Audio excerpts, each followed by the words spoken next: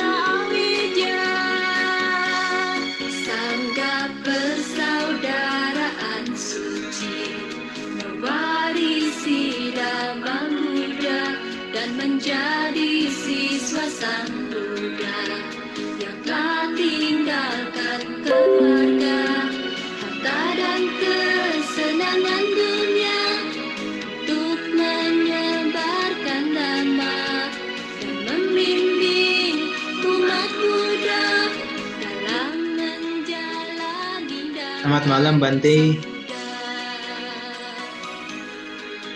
Di unmute dulu ya Bante. Di audionya bisa di unmute dulu Bante. Belum di unmute Bante, audionya di laptop Kak tadi. Bisa tes mic-nya Bante? Tes, tes. Ya, kedengeran suaranya. Bisa bagus. Ya malam ini izin saya untuk memandu acara ini Bante. Nanti kita ada menguraikan dhamma dan juga ada diskusi atau tanya jawab nanti Bante mohon kesediaannya untuk memberikan uraian dhamma dan juga untuk menjawab pertanyaan dari partisipan secara langsung atau via chat nanti yang akan masuk ke dalam chat kami. Ya nanti ya.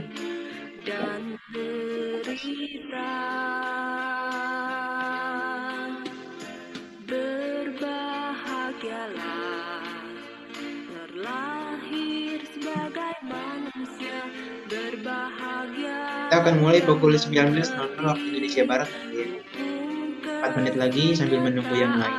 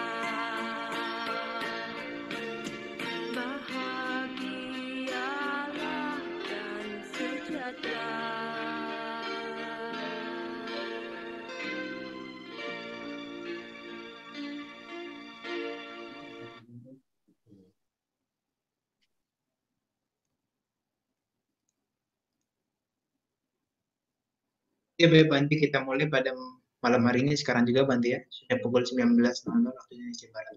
Baik. Izinkan saya untuk membuka terlebih dahulu Banti, untuk menyapa partisipan yang lain juga. Eh, nama saya Samanera Abi Sarano, nanti bisa dipanggil Abi Sarano.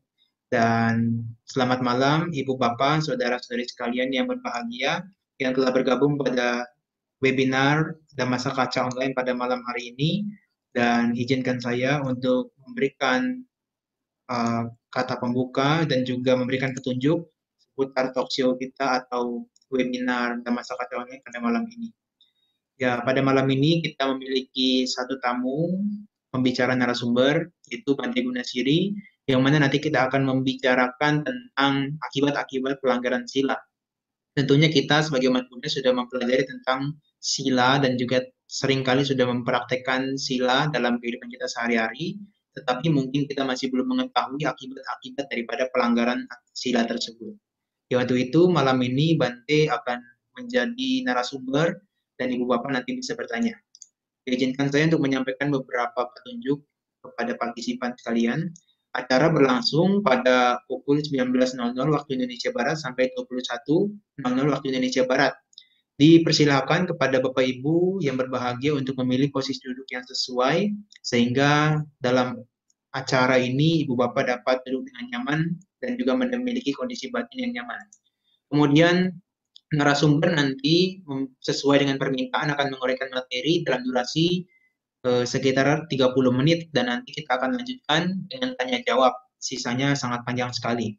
Sehingga dalam kesempatan ini saya persilakan Ibu Bapak untuk bertanya nantinya.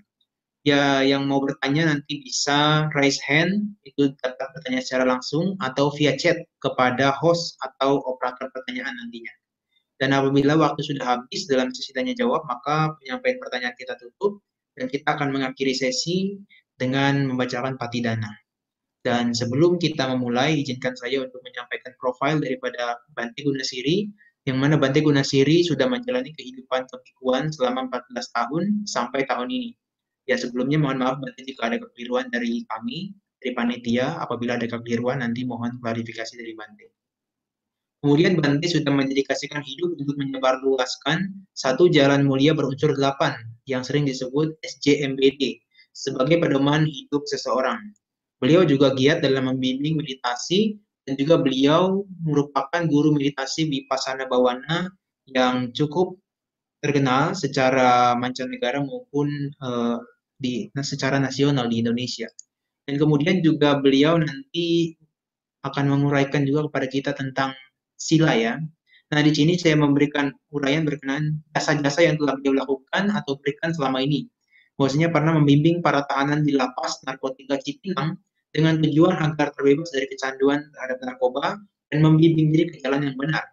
Dan salah satunya adalah beliau terkenal yang merupakan bahwasanya beliau merupakan salah satu founder atau salah satu yang mendirikan Yayasan Satipatana Indonesia yang dikenal sebagai Yasati di Bakom atau di di Bakom sepertinya kalau saya tidak salah. Kemudian juga beliau mendirikan Forest Center Meditasi Sukesi Karama Mindfulness Forest. Nah, Ibu Bapak juga sudah mungkin sering melihat berkenaan dengan website beliau Sukesi Karama Meditation Center Forest. Untuk itu, tidak berlama-lama, saya mempersilahkan Bante Gunasiri untuk menguraikan materinya pada malam hari ini. Saya persilakan Bante waktu dan tempat kepada Bante. Namo tassa bhagavato arahato sama sambuddhasa. Namo tassa bhagavato arahato sama sambuddhasa. Namo tassa bhagavato arahato sama sambuddhasa. Puja ce puja nianang etang manggala mutamangti. Junjunglah yang tinggi yang pantas kita junjung, yaitu satu jalan mulia berusul delapan. Itulah berkah utama. Baiklah, perpisah. Selamat malam, namo budaya. Uh, malam ini Nanti mau membahas tentang akibat-akibat pelanggaran sila atau lima kemoralan. Eh, sebelum kita Bante membahas, mengupas akibat-akibat itu, kita coba tinjau dulu sebab-sebab apa yang mendasari seseorang melakukan pelanggaran sila. Di Singgalawada Sutta Sang Buddha mengatakan,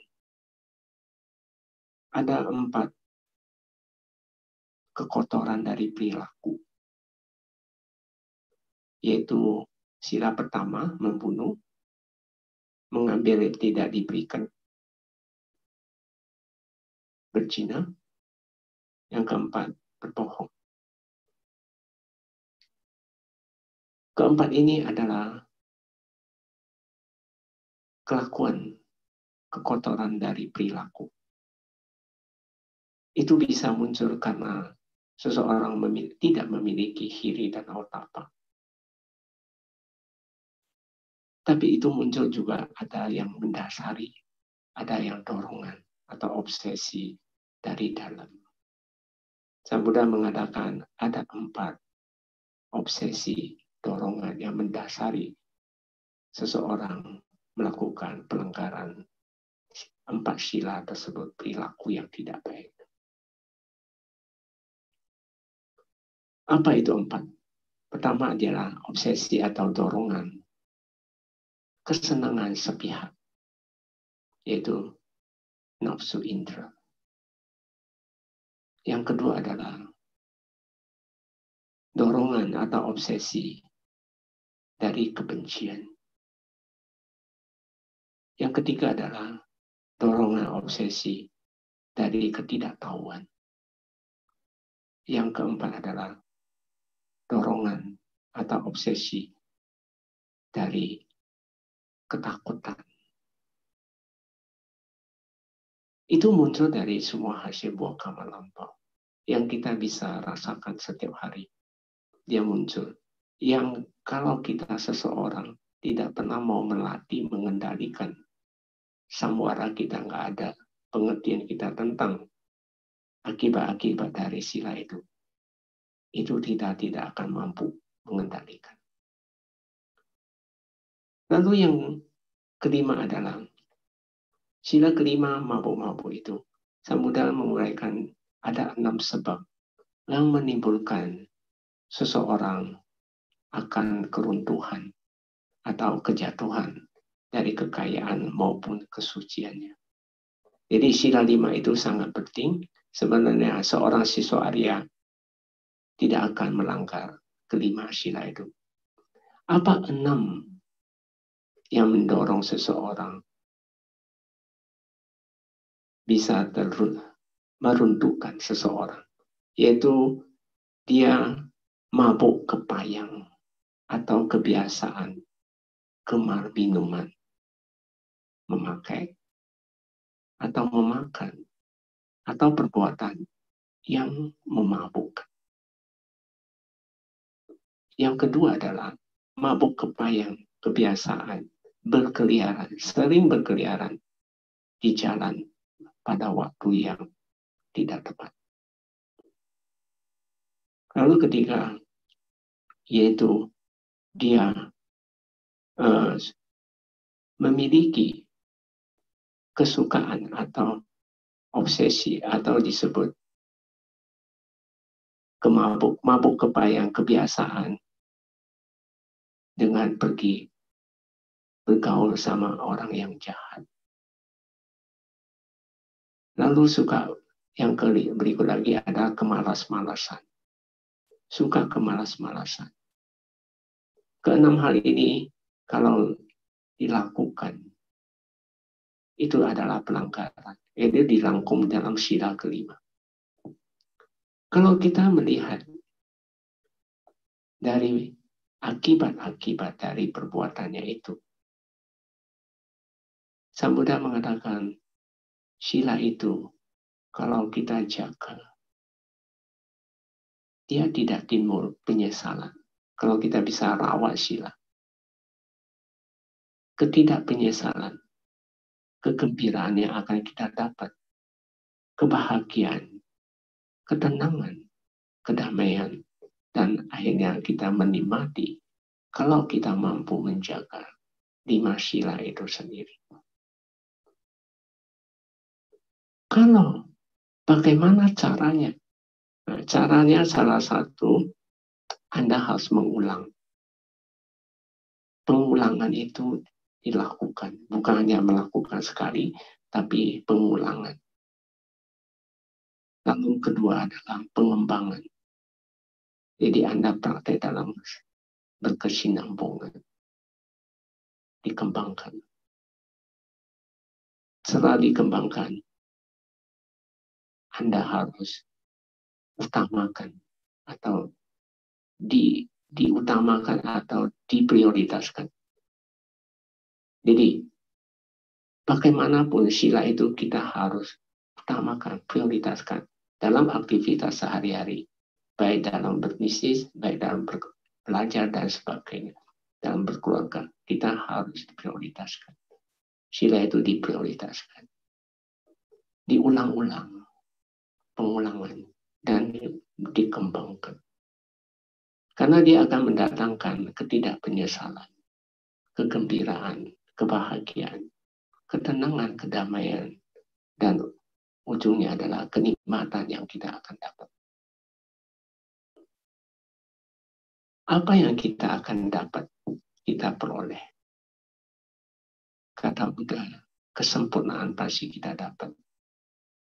Lalu kebebasan total dari nafsu indra. Karena kita sila, sila nggak bisa berjalan sendiri, harus didukung oleh samadhi. Dengan gigi kekuatan batin, dia akan menaikkan sila kita. Dengan kekuatan batin, sila akan semakin naik, kita akan dapat banyak. Dari banyak baik mendorong sila yang baik lagi, dia akan melakukan meditasi lagi. Sila mendorong meditasi, meditasi mengandung menghasilkan banyak. Dari situlah akan menjadi suatu uh, kita mampu mencapai kesempurnaan pengetahuan langsung dan akhir ujungnya nibat. Jadi sila itu harus didukung dengan meditasi. Lalu kita melihat bagaimana kita menilai seseorang dikatakan dia sudah memiliki moralitas atau tidak. Samuda mengatakan, kalau Anda kebiasaan jelek sudah melakukan pelanggaran silat, Anda mulai sadar. Kesadaran itu Anda tidak mau langgar lagi, tidak mau lakukan lagi. Meninggalkan itu adalah kemoralan. Lalu Anda menolak ketika yang kedua ada orang mengajar untuk melanggar sila. Anda menolak. Anda mampu menolak itu adalah kemoralan. Lalu ketika Anda kehendak sendiri, karena Anda kebiasaan melakukan penolakan, merubah dan sebagainya. Di dalam hatinya ada kehendak. Kehendak juga adalah kemoralan. Kehendak tidak berlanggar adalah kemoralan. Lalu selain itu kehendak, muncul pengendalian diri secara otomatis dari dalam diri kita tidak melanggar, maka itu adalah kemoralan. Termasuk Anda mencapai tingkat kesucian tertentu, sehingga mencapai kesadaran semakin tinggi, maka Anda tidak melakukan pelanggaran. Ya, kata Sambuddha itu adalah kemoralan. Lalu akibat-akibat pelanggaran sila apa? Di Saleka Sutta Sambuddha ada satu Brahmin bertanya kepada Sambuddha, kenapa di dalam di lingkungan mereka. Ada yang terlahir di alam sengsara, bahkan neraka. Ada yang terlahir di alam surga. Saya mudah mengatakan ada tiga. Ya, melalui perbuatan fisik. Yaitu perbuatan fisik ada tiga. Sila pertama yaitu membunuh. Dia itu kejam. Dia dengan tangan sendiri membunuh dia suka tidak hati-hati, suka ceroboh. Yang kedua adalah dia di, mencuri barang yang diberi, tidak diberikan. Nah, dia mencuri itu, mengambil barang yang tidak diberikan itu juga salah satu mulai perbuatan fisik. Yang kita adalah kambesumi, jadi melanggar. Dia melakukan hubungan seksual di mana perempuan maupun laki itu masih di bawah seorang ibu atau ayah, ibu ayah, atau uh, udah ber, berkeluarga, bertunangan, atau kalau dia nggak ada orang tua, masih ada family, masih di dilindungi oleh family atau saudaranya. Kalau nggak ada saudara, nggak ada siapa-siapa, masih ada kepala kampung, masih dilindungi. Maka kalau Anda melakukan hubungan seksual tersebut terhadap baik laki dan perempuan, itu disebut Anda telah melanggar. Lalu yang kedua itu melalui ucapan. Ucapan itu ada empat, yaitu berbohong sendiri. Anda suka berbohong. Sesuatu yang kamu nggak lihat, kamu bilang lihat. Sesuatu yang kamu lihat, kamu bilang tidak lihat. Sesuatu Anda dengar, Anda bilang tidak dengar. Sesuatu yang tidak dengar, Anda bilang dengar. Itu juga salah satu berbohong. Lalu memfitnah. Memfitnah itu sama dengan Anda contoh ya. Anda mengatakan Anda tidak ada bukti, Anda mengatakan dia lakukan, padahal Anda belum lihat, belum ada kebuktian. Itu termasuk memfitnah. Mengadu domba termasuk. Jadi eh, kalau yang ngomongan besar, yang ketiga adalah ngomongan besar. Jadi Anda nggak punya mampu, Anda bilang kamu mampu, Itulah omongan besar.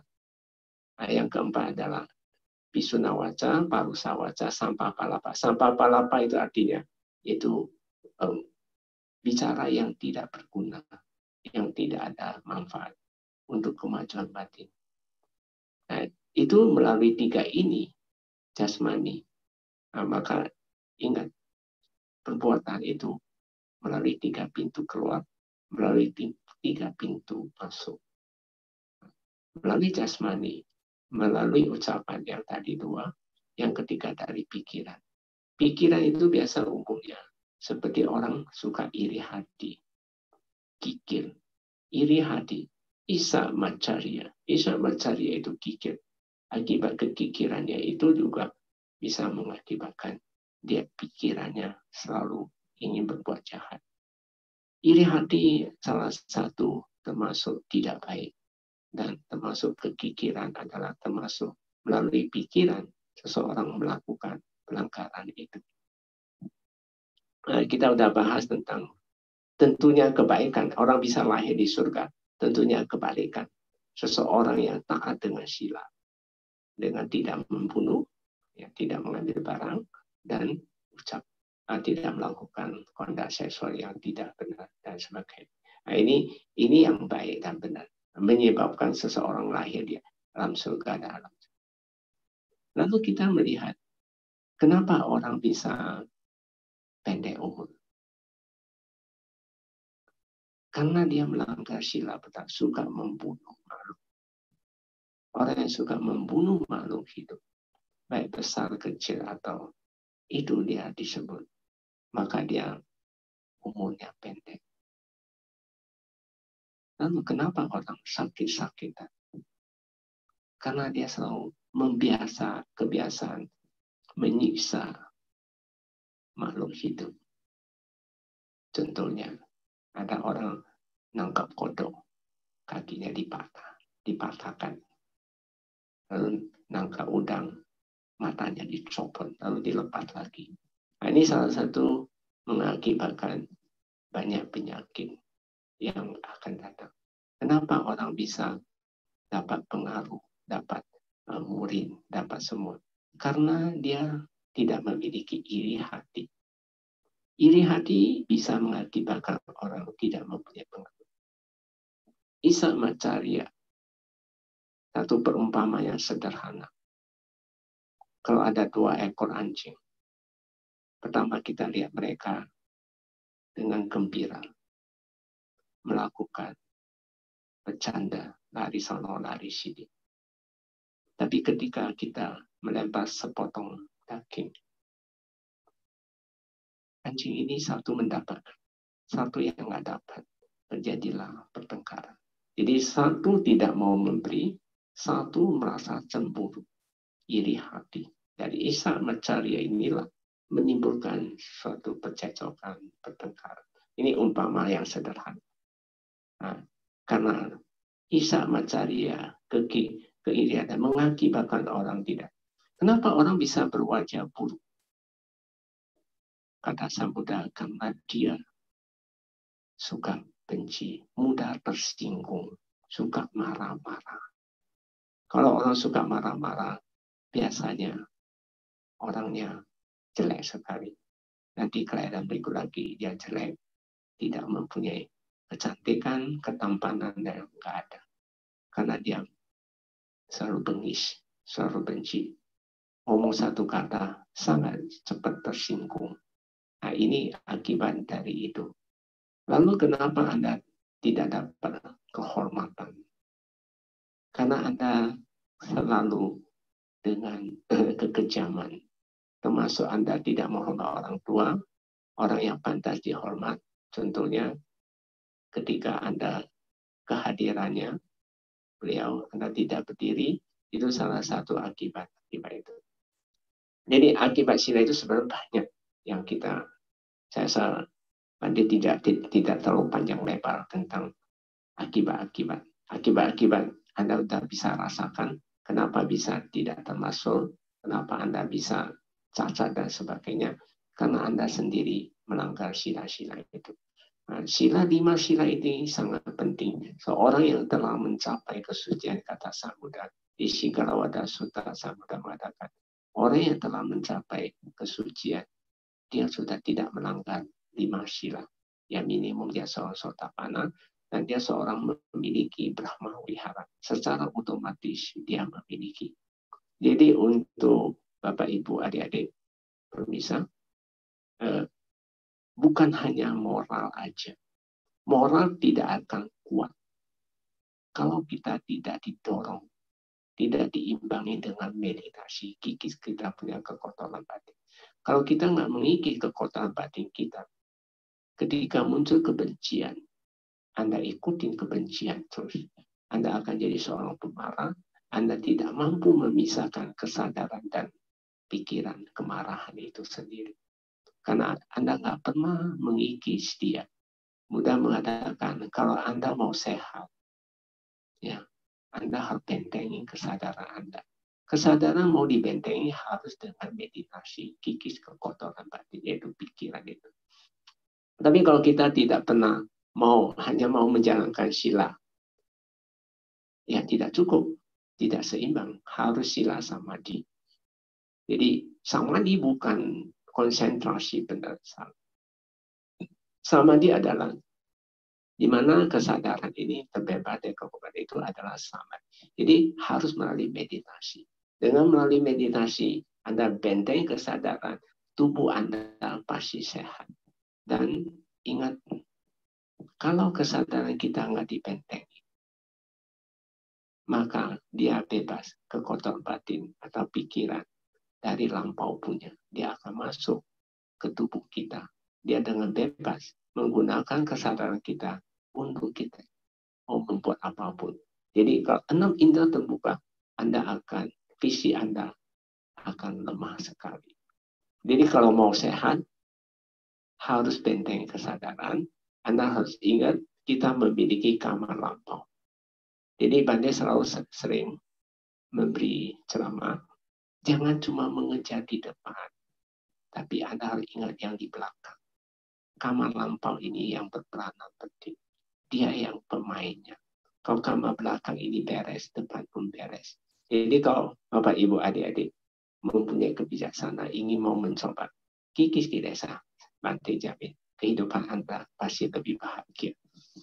Kalau Anda tanpa melakukan meditasi, hanya menjaga moral aja, Anda tak kuat. Anda akan kebobolan. Biasanya silanya itu bobol. Keserakaan, dia menguasai kita. Sehingga kita dengan mudah untuk membenarkan pelanggaran-pelanggaran sila. Jadi sila nggak akan kuat. Dan kamu harus ingat juga Bapak Ibu adik-adik. Sila itu hanya menentukan alam kelahiran. Tapi dia tidak menentukan kualitas hidup kita. Kualitas hidup itu tergantung kesadaran. Kualitas kesadaran semakin tinggi, maka kualitas hidup Anda pasti baik. Kita bisa uh, melihat satu contoh yang sangat umum. Bodhisattva. Bodhisattva memiliki kesadaran yang tinggi ketika ada satu saat beliau mendapat karma buruk, lahir jadi binatang. Apa yang kita lihat? Bodhisattva selalu lahir di binatang. Binatang besar, gagah sekali, jadi pemimpin dan sebagainya. Kualitas hidupnya sangat bagus. Jadi kalau Bapak Ibu adik-adik merasa dirinya kualitas hidup belum bisa baik, maka cobalah angkat harta Anda. Selain menjaga sila, kamu taat, kamu mengangkat harga dengan mengikir kekuatan batin. Dia akan terangkat. Ketika terangkat inilah kamu akan merasakan betapa pentingnya meditasi. Tanpa meditasi, gigi kekuatan batin, kita cuma hanya mau maunya enam indera terbuka, maka akan sulit. Umpama sang Buddha seperti kayak contoh aja satu hal, kayak batu kayu basah. Kalau kayu basah dicelup di dalam air, maka kayu itu nggak akan terbakar, kata Sabda. Celup dalam air itu enam indera ke masyarakat. Jadi kayu basah itu enam indera terbuka. Kalau enam indera terbuka, kamu ke dalam masyarakat terus Anda bagaikan kayu celup di dalam air. Kalau kayu dicelup di air, tidak akan terbakar. Jadi kekuatan batin Anda tidak akan terkikis. Itu nggak mungkin. Tidak mungkin orang menjalankan sila lalu ke kota Badi. Bande mengatakan, kalau Anda tetap menjalankan sila, tidak lakukan meditasi, biasa pupur, nggak kuat. Jadi kau ini. Yang kedua seumpama sang Buddha itu bagaikan kayu kalau itu basah. Kalau walaupun di atas darat. Artinya kamu sudah tidak di dalam, tapi kamu selalu Eh, aktivitas hari-hari, misalnya ke wihara, ada selalu tinggal di wihara, tapi Anda tidak pernah mau mengendai anak indah karena masih basah kan, umpama budaya. Itu tidak akan kekuatan batin pun tidak akan banyak. Perumpamaan tiga Sang Buddha mengatakan, kayu-kayu udah kering, maka dia pasti terbakar. Itu disebut Buddha mengatakan, kalau dia tidak di darat, Nah, artinya dia selalu mengenai anak indera. Maka kekuatan batin akan terkikis. Jadi patokan kita ingat. Ketika Sariputra Mokalana, Bante Sariputra Bante Mokalana, beliau selalu kita melihat beliau ya. Ketika bertemu sama seorang yang umat atau belum mempunyai keyakinan pada Buddha, beliau selalu membabarkan manfaat dana, cinta kasih. Jadi kita tinjau. Sila mau kuat, Anda harus mulai belajar berdana. Harus mulai cinta kasih belajar. Karena orang mempunyai suka berdana, suka cinta kasih, maka dia tidak akan melakukan pelanggaran sila. Kalau mudah cukup kuat, kita tingkatkan silanya pure sebaik mungkin pengendalian. Tapi pengendalian tanpa diimbangi dengan meditasi kikis kilesa. Sekali-sekali kamu akan kena jebol punya. Kita lihat kita lihat orang itu tenang sekali.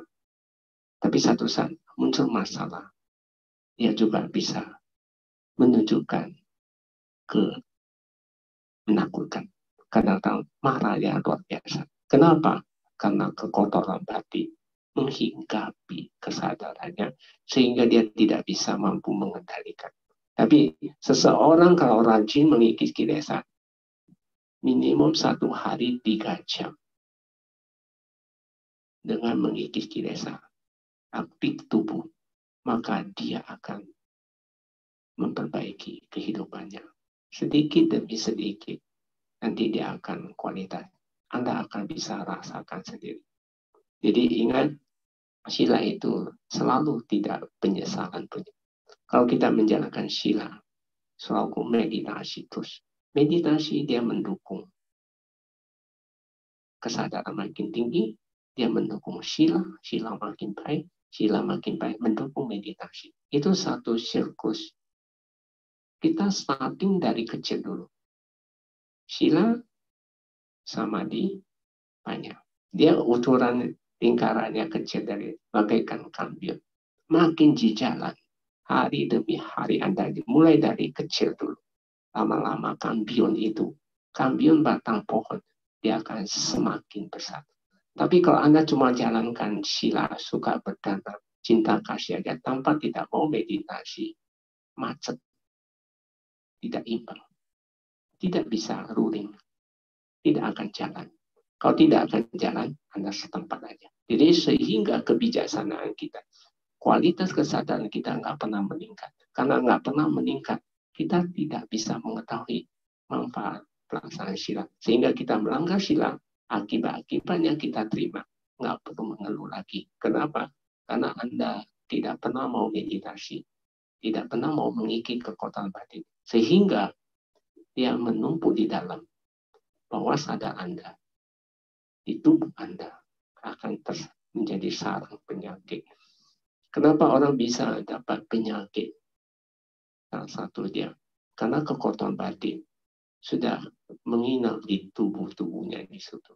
Sehingga tidak heran orang di usia tua sampai menderita banyak penyakit penyakit stroke, penyakit apa itu datang sendiri, datang bertubi-tubi karena pengkristalan di dalam tubuhnya. Salah satu contoh ya, coba Bapak Ibu adik-adik, Anda duduk bersila. Coba mulai duduk di situ. Coba kamu lihat, kalau kamu bisa muncul bakal, sakit, dan sebagainya, berarti Anda kurang latihan. Berarti visi Anda masih belum lentur.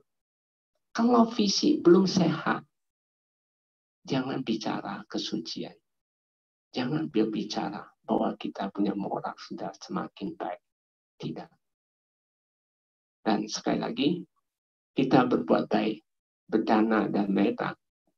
Dia bisa mendukung sila kita.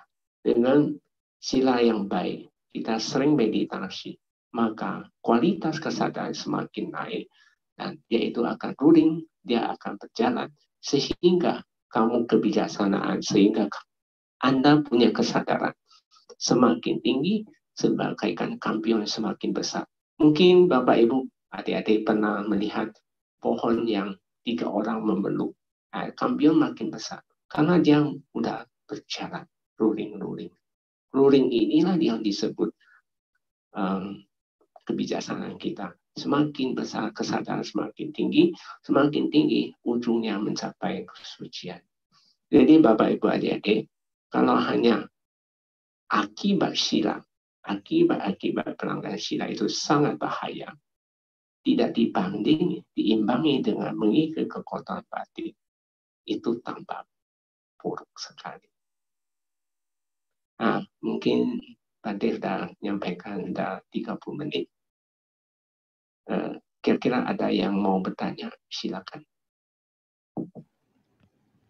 Ya, Bante, terima kasih Bante atas uraian damanya sebagai pengawal dari sesi Damasa Kaca kita pada malam hari ini. Ibu Bapak, kita akan memasuki mem, apa kita memasuki sesi tanya jawab atau Q&A pada malam ini. Saya persilakan Ibu Bapak untuk raise hand untuk bertanya secara langsung dan apabila ingin menanyakan secara chat bisa disampaikan ke kami atau ke ya ke host nanti kita akan sampaikan ke Bante. Ya Bante ini udah ada satu pertanyaan Bante dari YouTube. Saya persilahkan untuk co-host kami dibantu tampilkan pertanyaannya. Bisa ditampilkan sekarang? Ya, co-host mohon dibantu untuk membacakan. Ya, Bante. Selanjutnya yaitu pertanyaan dari Didi Suryadi. Bante mohon bertanya bagaimana kita mengetahui kekotoran batin kita terkikis. Anumodana Bante. Dipersilahkan kepada Bante. Baik. Sebenarnya coba kita tinjau dulu. Apa yang disebut kekotoran batin? Kekotoran batin itu adalah dari keselakaan, kebencian, dan ketidaktahuan.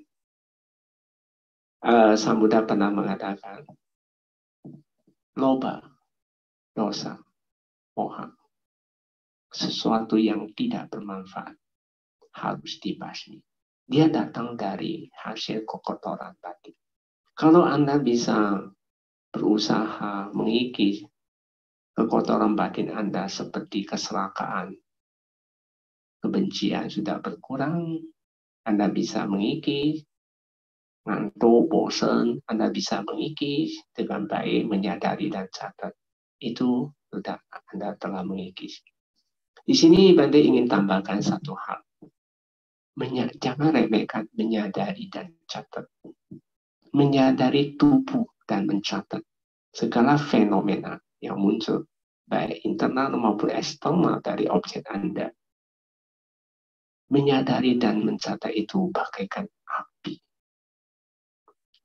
Api membakar. Contoh yang kita melihat. Kita bisa melihat setumpuk sampah yang begitu menggunung. Tapi ketika kita menyulut api, itu dia akan menjadi tidak ada. Jadi sebenarnya mengikuti kekuatan batin itu menyadari dan catat. Bagaimana kita bisa rasakan menyadari catat? Sudah berkurang. Kalau sudah berkurang berarti sudah. Seperti kata Samudra pernah mengatakan, kenapa kita bakar sesuatu? Ada kita bakar sampah. Ada api dan asap. Kenapa ada api dan asap? Samudra mengatakan karena sampahnya. Kalau selama ada sampah, kalau dibakar tetap ada api dan asap. Tapi kalau sudah tidak ada api dan asap, berarti sampahnya sudah tidak ada. Itu umpama sambuda itu artinya. Kalau selama dalam kehidupan hari-hari kita masih bisa kesel, marah, bosan, dan sebagainya. Berarti api dan asapnya masih ada. Berarti kekotoran batin kita di dalam itu masih ada. Itu cara pengukuran salah satu. Jadi tentunya kita harus meningkatkan sila samadhi terus menerus rulingnya.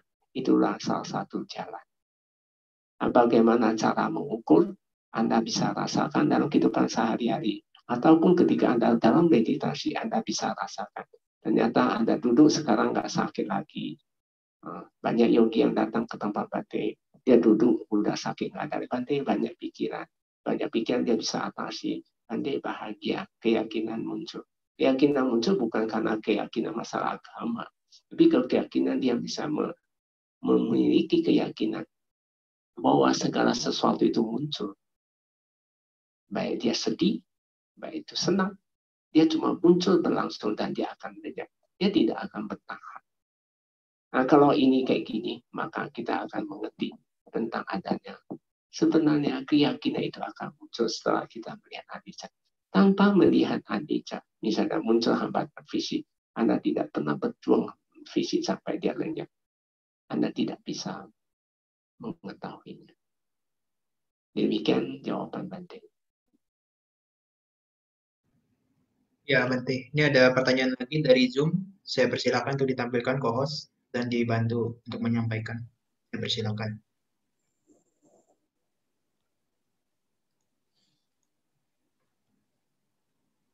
Ya, baik Bante, uh, malam. Ada pertanyaan dari Ria, uh, malam Bante. Jika saat kehidupan ini kita sudah memiliki kekotoran batin, contoh iri hati, benci, marah-marah dan lain-lain, uh, dalam kurung belum tersadarkan, apakah akan berbuah pada kehidupan yang akan datang?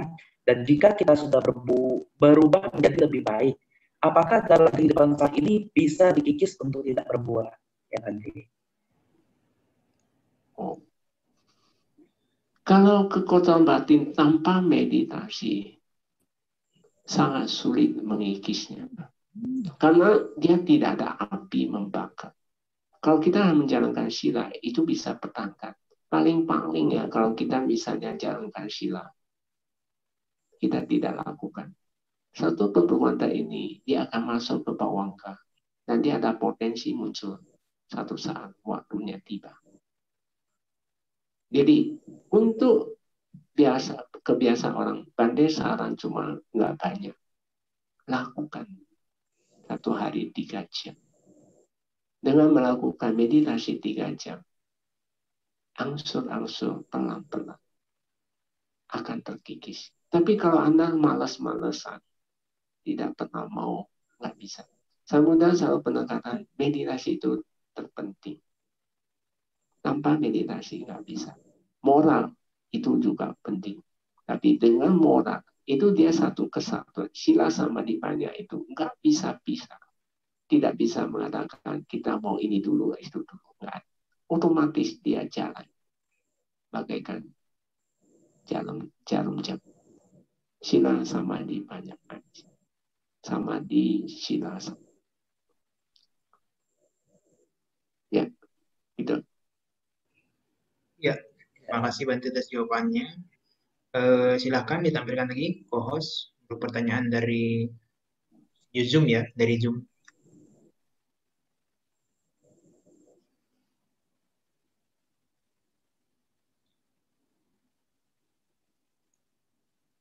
Uh, baik, Bante, ini pertanyaan berikutnya.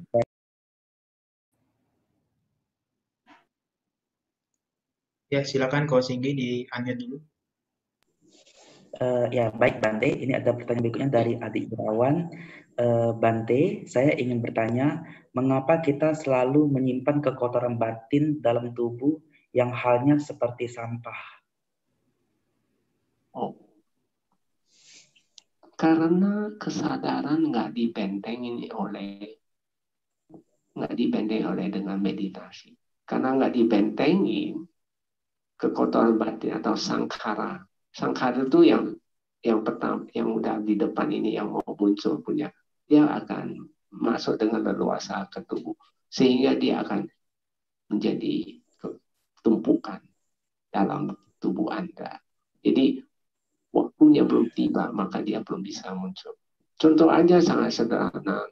Nanti bisa satu. Anda kalau saya suka meditasi, ketika meditasi anda bisa rasakan bakal, semutan, dan sebagainya.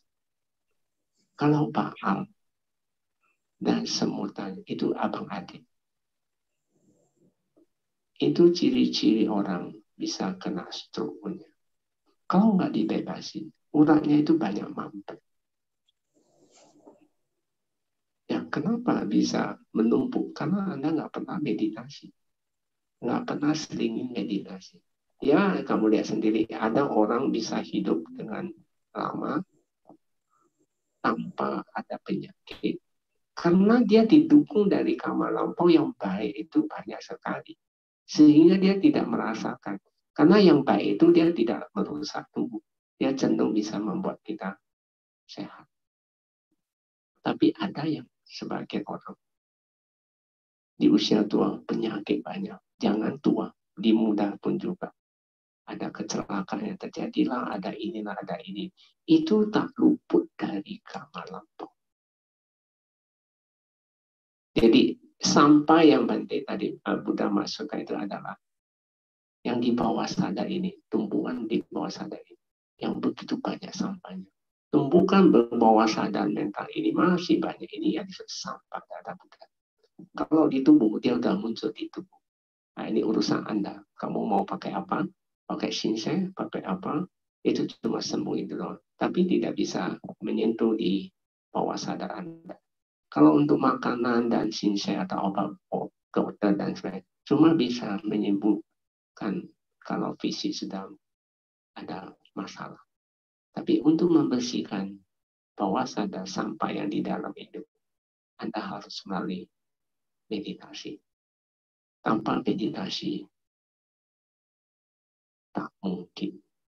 Karena di bot 3 pagi kemarin Banjir sudah sharing, dari 37, 21 itu adalah di samadhi. 10 itu di sila, hanya itu 6.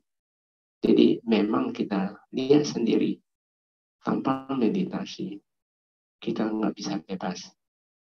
Baik dalam kehidupan hari-hari, untuk hidup lebih nyaman, agak kurang. Ya demikian yang penting kasih jawab. Ya, uh, sudah ada yang ber ada yang angkat tangan tapi kita bacakan slide dulu satu dari Zoom ya. Silakan ditampilkan ke host untuk dibacakan juga.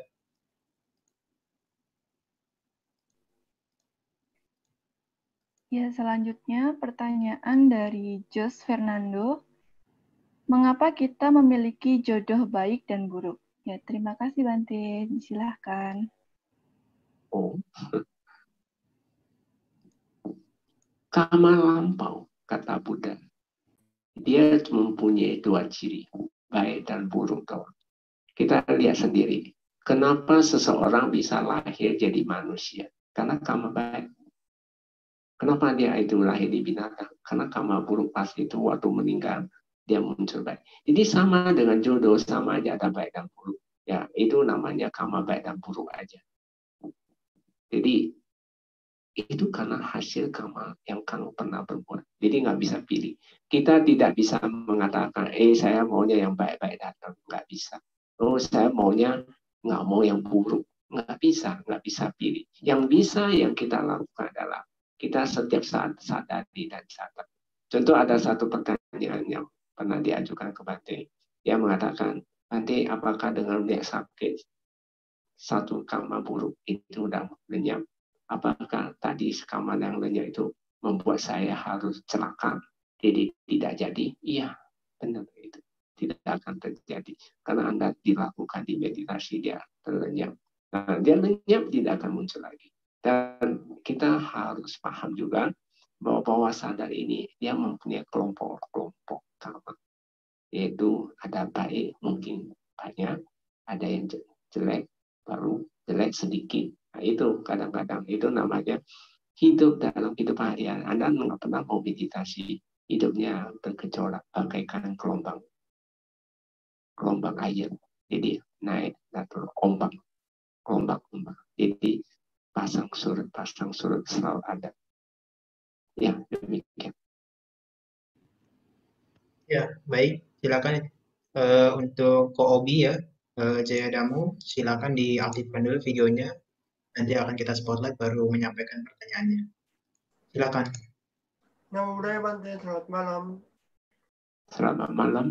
Bante, saya mau bertanya, apakah kalau kita sebagai umat awam bisa melakukan apa kayak bercanda begitu atau dengan seorang petapa begitu, dengan seorang petapa. Misalnya kan kita untuk membangun keakraban itu kan saling mengejek mengejek kan itu salah satu cara juga kan. Nah, apakah yang di situ kita terdapat karma? Padahal kan cetana kita hanya untuk tidak untuk untuk apa tidak untuk merendahkan melainkan hanya untuk bercanda aja. Mohon penjelasannya Bante. Budaya. Yang tadi maksudnya apakah sebagai perumah tangga bisa betapa gitu ya? Intinya ya. Kan maksudnya untuk menjalin keakraban dengan apa para petapa seperti biku atau samanera mungkin ada sedikit canda atau seperti intermezzo gitu Banti. Uh, bagaimana itu Banti? Diperbolehkan atau bagaimana? Uh, nggak jelas ya, saya nggak dengarnya nggak jelas. Apa tuh? Ulang lagi sama Nera. Kalau seandainya uh, ada seorang umat seperti Obi misalnya, terus kemudian pernah bertemu dengan Samanera atau Biku, kemudian kalau seandainya untuk menjalin keakraban seperti itu, eh, mereka berbicara kemudian seperti ada intermezzo atau talks gitu Bandi. Eh, bagaimana menurut Bandi tanggapannya? Maksudnya mereka ada hubungan itu. Ya, Oh. interaksi Ya, seperti kalau kalau mau bertapa ya hal jalan dengan sila nggak bisa lagi. Kalau memang seorang biku, kita tidak bisa mengatakan biku atau samanera itu dia udah suci tidak. Suci tidak suci bukan karena jubahnya, tapi karena dia melakukan atau tidak. Kalau dia tidak pernah melakukan meditasi, walaupun dia seorang biku pakai jubah atau samanera seorang pakai jubah, tapi dia cuma hanya sibuk ke enam ya dia juga pasti nggak bisa mengendalikan nafsu-nafsunya. Jadi kalau dia lakukan, dia tetap melakukan pelanggaran termasuk. Jadi untuk mengatasi uh, saran bante, ya tak lain dan tak bukan uh, baik sama biku atau sama merah, minimum dia satu hari harus meditasi. Bagi umat awam juga harus meditasi. Tanpa meditasi nggak bisa. Itu aja yang Bante jawabkan. Ya, gimana Ko Obi? Sudah cukup?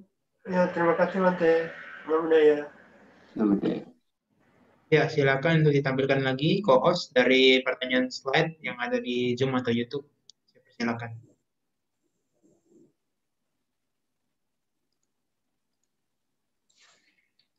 Uh, ya, Bante. Berikutnya ada pertanyaan dari Paul Adi Susanto. Uh, Bante, makan dari sumber hewani, apakah termasuk melanggar sila? Ya, kami mengenal Bante.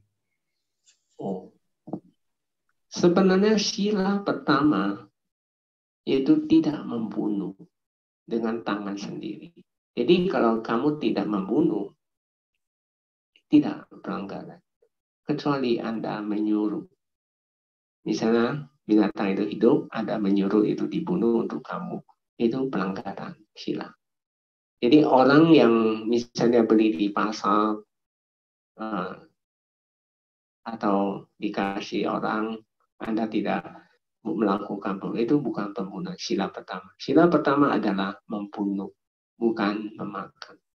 Jadi jangan salah pahamkan. Pernah ada seorang bertanya ke Bante masalah tentang kalau hasil bunuhan itu adalah termasuk yang melakukan memakan itu termasuk uh, membunuh kata dia. Jadi kalau hal ini Pandai memberi jawaban, kalau hal ini tidak ada seorang di sini yang tidak ada pelanggaran, semua pelanggaran, termasuk Anda melakukan pelanggaran. Kalau hasil pembunuhan itu dinilai adalah pembunuhan, itu sudah gawat. Contoh ya, kita nggak usah banyak. Kita mau bangun wihara atau bangun rumah satu. Tentunya mau kali pondasi, kali apa, dan sebagainya. Tentu banyak binatang yang terbunuh. Lalu itu hasil bunuhan. Nah, contoh kata yang sangat sederhana. Misalnya, Anda naik motor atau naik mobil. Perlu apa enggak? Bensin kan. Bensin itu hasil dari mana? Itu juga hasil dari bunuhan. Tidak bisa mengatakan hasil bunuhan itu yang kita lakukan, kita pakai. Lalu kita mengatakan itu seorang itu telah melanggar sila. Itu tidak. Sila itu bukan kayak gitu.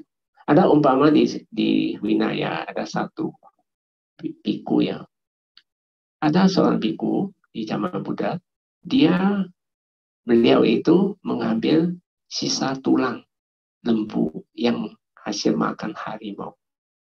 Dia bawa pulang untuk digodok. Lalu eh, para biku lain melihat, oh ini biku ini melanggar sila dalam melanggar winaya, membunuh itu. Lalu beliau sampai mereka pada sampaikan kepada Buddha. Buddha mengatakan, kalau ini ketemu di hutan, lalu ini punya harimau, maka itu bukan milik siapa-siapa, bukan mencuri juga, apalagi membunuh tidak. Karena itu adalah hasil aja, hasil bunuhan. Jadi bukan pelanggaran sila. Bisa diterima? Ya, baik Bante. Ya, untuk itu kita lanjut Bante ya, pertanyaan selanjutnya. Masih ada banyak pertanyaan Bante. Ya. Ya, silakan co-host untuk dibantu baca.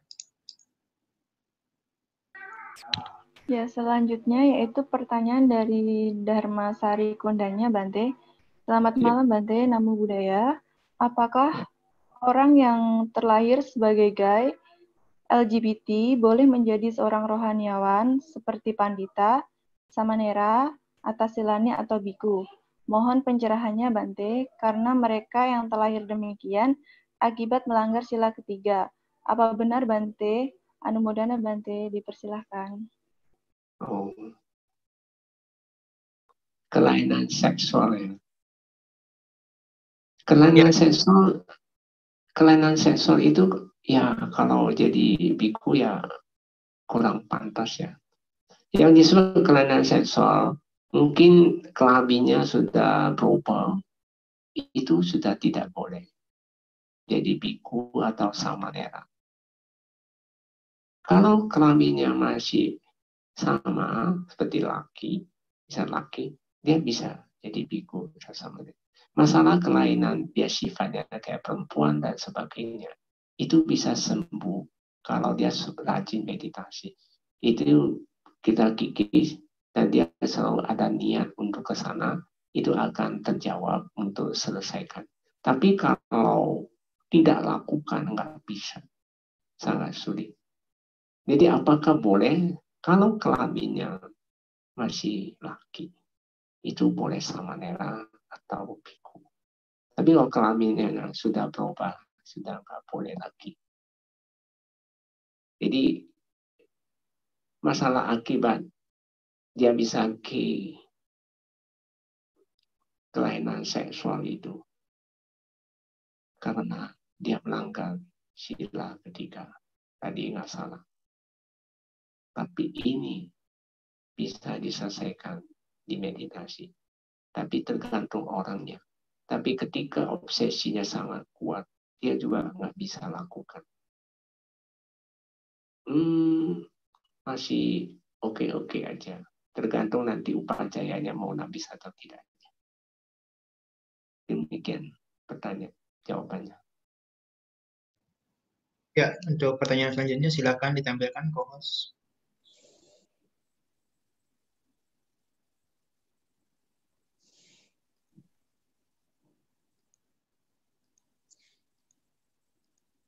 Eh, ya, Bante. Di unmute dulu ya, Ko Singgi.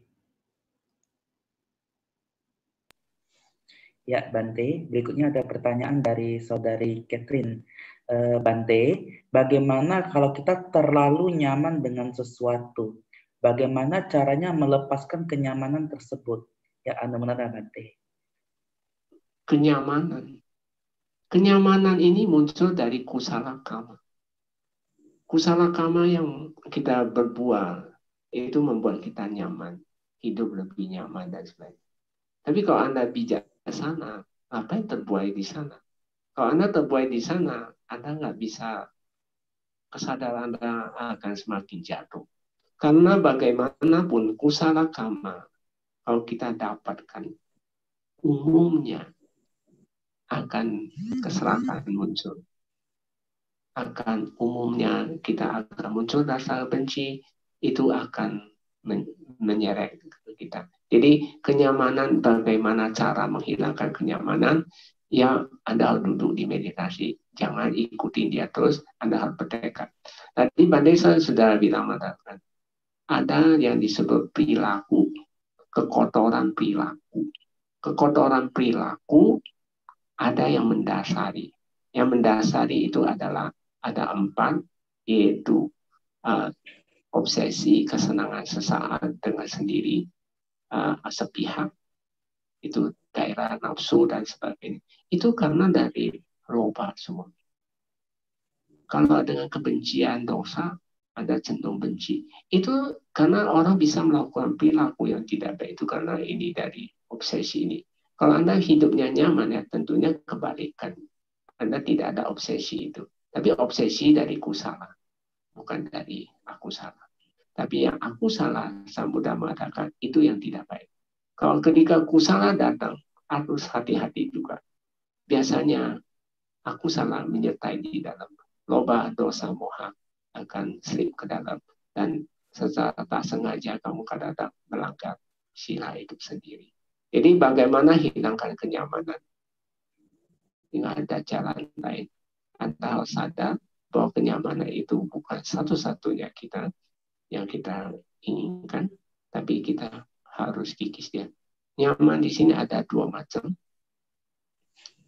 Kalau hasil kikis kilesa menimbulkan kegiuran di pasali itu baik. Tapi kalau Anda dalam kehidupan sehari-hari, anda tidak pernah meditasi, tapi muncul nyaman. Hati-hati, itu adalah kusala kama. Biasanya kusala kama itu dia menyeret. Itu termasuk duka. Dia bukan kelompok. Uh, disebut suka, bukan. Tapi duka.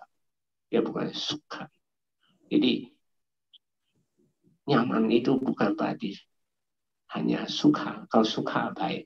Kalau nyaman dari hasil dari kusala kama lampau itu hati-hati. Itu tidak baik. Harus dikikis. Jadi kalau tahu Anda tidak meditasi muncul rasa nyaman itu hati-hati. Biasanya ada disebut duka itu muncul. Terseret oleh senang, terseret oleh tidak senang, itu juga duka. Jadi duka, duka itu adalah terseret akibat terseret menimbulkan penderitaan. Nah, demikian ini jawaban tadi. Ya Bante, ini ada yang mau bertanya secara langsung ini Pak Tapak Wong ya. Uh, sepertinya nggak bisa raise hanya apa lambai-lambaikan tangan. Silakan Pak Tapak Wong. Namo Buddhaya, selamat malam Bante. Oh, selamat malam Tapak Wong. Uh, saya mau tanya Bante masalah melanggar sila. Uh, bagaimana dengan orang yang minum obat? Sementara minum obat itu jelasnya membunuh kuman dan uh, penyakit-penyakit. Bagaimana dengan uh, sila pertamanya? Apa itu tidak melanggar sila pertama itu? Apa oh. terjadi pembunuhan di situ? Ya. Terima kasih, Bante. Ya sih uh, tapak wong ya. Kalau kita misalnya kita makan obat untuk sembuh kita, di dalamnya kan ada kuman. Tapi kita ada dua ajas ya, ajas manfaat dan ajas kebenaran. Tapi kalau ajas kebenaran itu tetap tidak baik. Kalau ajas manfaat ya karena saya mau sembuh itu boleh aja. Ini umpamanya itu seperti kayak contoh aja.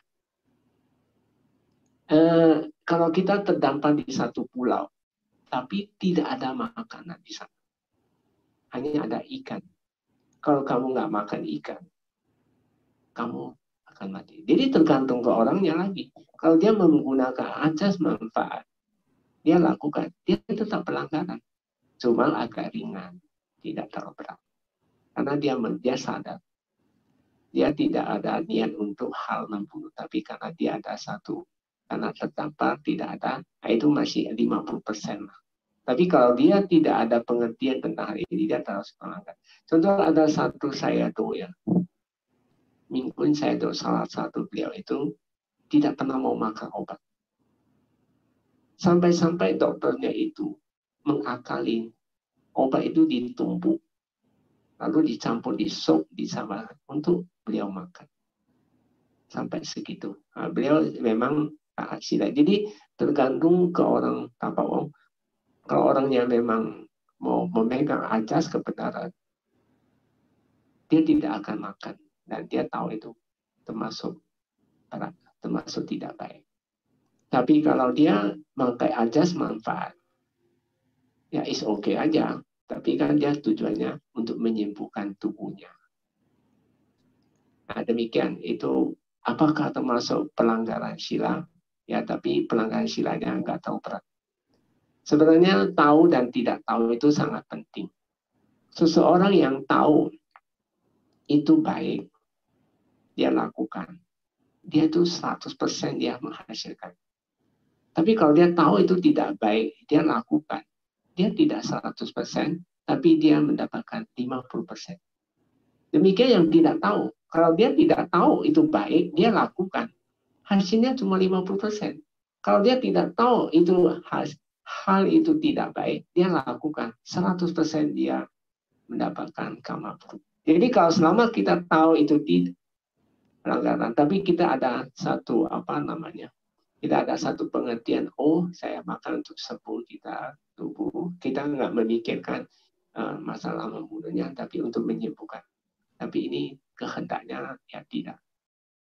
Bisa dikatakan cuma 50 persen. Jadi satu saat kamu harus banyak meditasi untuk kikis dia. Ya, tak bohong.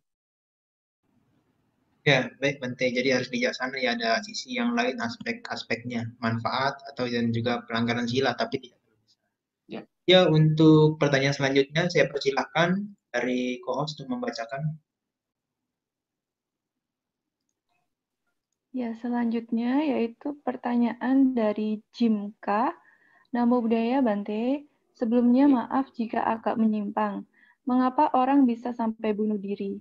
Terima kasih Bante.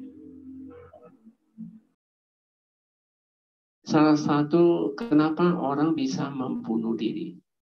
Saya rasa orang normal, dia tidak akan membunuh diri. Normal di sini artinya dia masih belum terseret. Kesadarannya masih belum diseret oleh kekotoran batin. Orang itu nggak pernah. Contoh aja, orang gila. Kamu tahu nggak orang gila? Orang gila kesadarannya sudah tidak, sudah dibawa oleh pikiran. Dia curiganya luar biasa. Dia sudah tidak tahu malu lagi. Demikian orang yang bunuh diri. Ketika dia dihinggapi oleh problem yang besar, kesadaran problem, dia nggak dapat solve, nggak dapat pencerahan. Dia dengan berani, dengan loncat, tapi bagi orang normal, ketika mau loncat aja rasa takut muncul. Kenapa? Dia tidak ada obsesi dalam itu. Nggak ada yang dorongan dari dalam. Yang mendasari. Yang mendasari mendorong orang itu, makanya itu dia berani. Nah, di sini kita bisa lihat dulu. Cita dan winyana. Cita juga kesadaran. Winyana juga kesadaran. Kalau orang lagi normal, itu cita. Tapi orang lagi terseret oleh problem itu winyana. Maka kita kita melihat di suta biasa apa? Cakung winyana, sota winyana. Enggak pernah cakung cita enggak ada. Kata Buddha maka selama enam indera pasti terseret. Cuma terseret baik atau buruk. Kalau terseret dengan tidak baik, dengan kebencian yang menumpuk sehingga dia menjadi satu problem, itu yang jadi masalah. Maka dia dengan seenaknya membunuh diri. Jadi untuk saran Bante supaya tidak terjadi hal-hal ini, lebih baik banyak jalankan sila, suka meditasi, maka dua itu akan seimbang. Kalau Anda satu saat selalu meditasi, satu saat muncul sampaikan di dalam diri, otomatis kamu mau cari tempat sunyi untuk mencapai kesucian. Karena kamu sudah melihat semua kehidupan ini cuma muncul berlangsung dan lenyap, muncul berlangsung. Tidak ada sesuatu yang tertarik punya. Kamu bilang, ya makan enak, tidak enak, coba kamu tiap jam, tiap menit kamu makan juga nggak enak. Tapi kalau bilang tiap minum, tiap kali minum juga tidak enak juga. Tiap tidur juga tidak enak. Kamu tidur tiga hari, tiga malam, saya ingin tak banding. Tidak enak. Tapi ingat satu hal, kalau Anda tiap hari meditasi, sangat nyaman. Itu pasti enak. Ya, cukup ya. Ya, Bante. Uh, masih ada 24 pertanyaan yang ada di slide. Mungkin Bante mau minum terlebih dulu. Saya persilakan, Bante.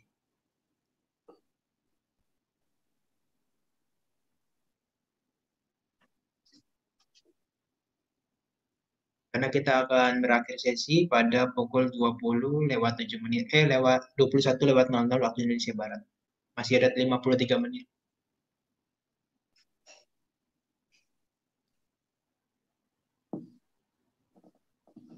ya untuk itu mungkin kita ini ya apa namanya kita tampilkan pertanyaannya dulu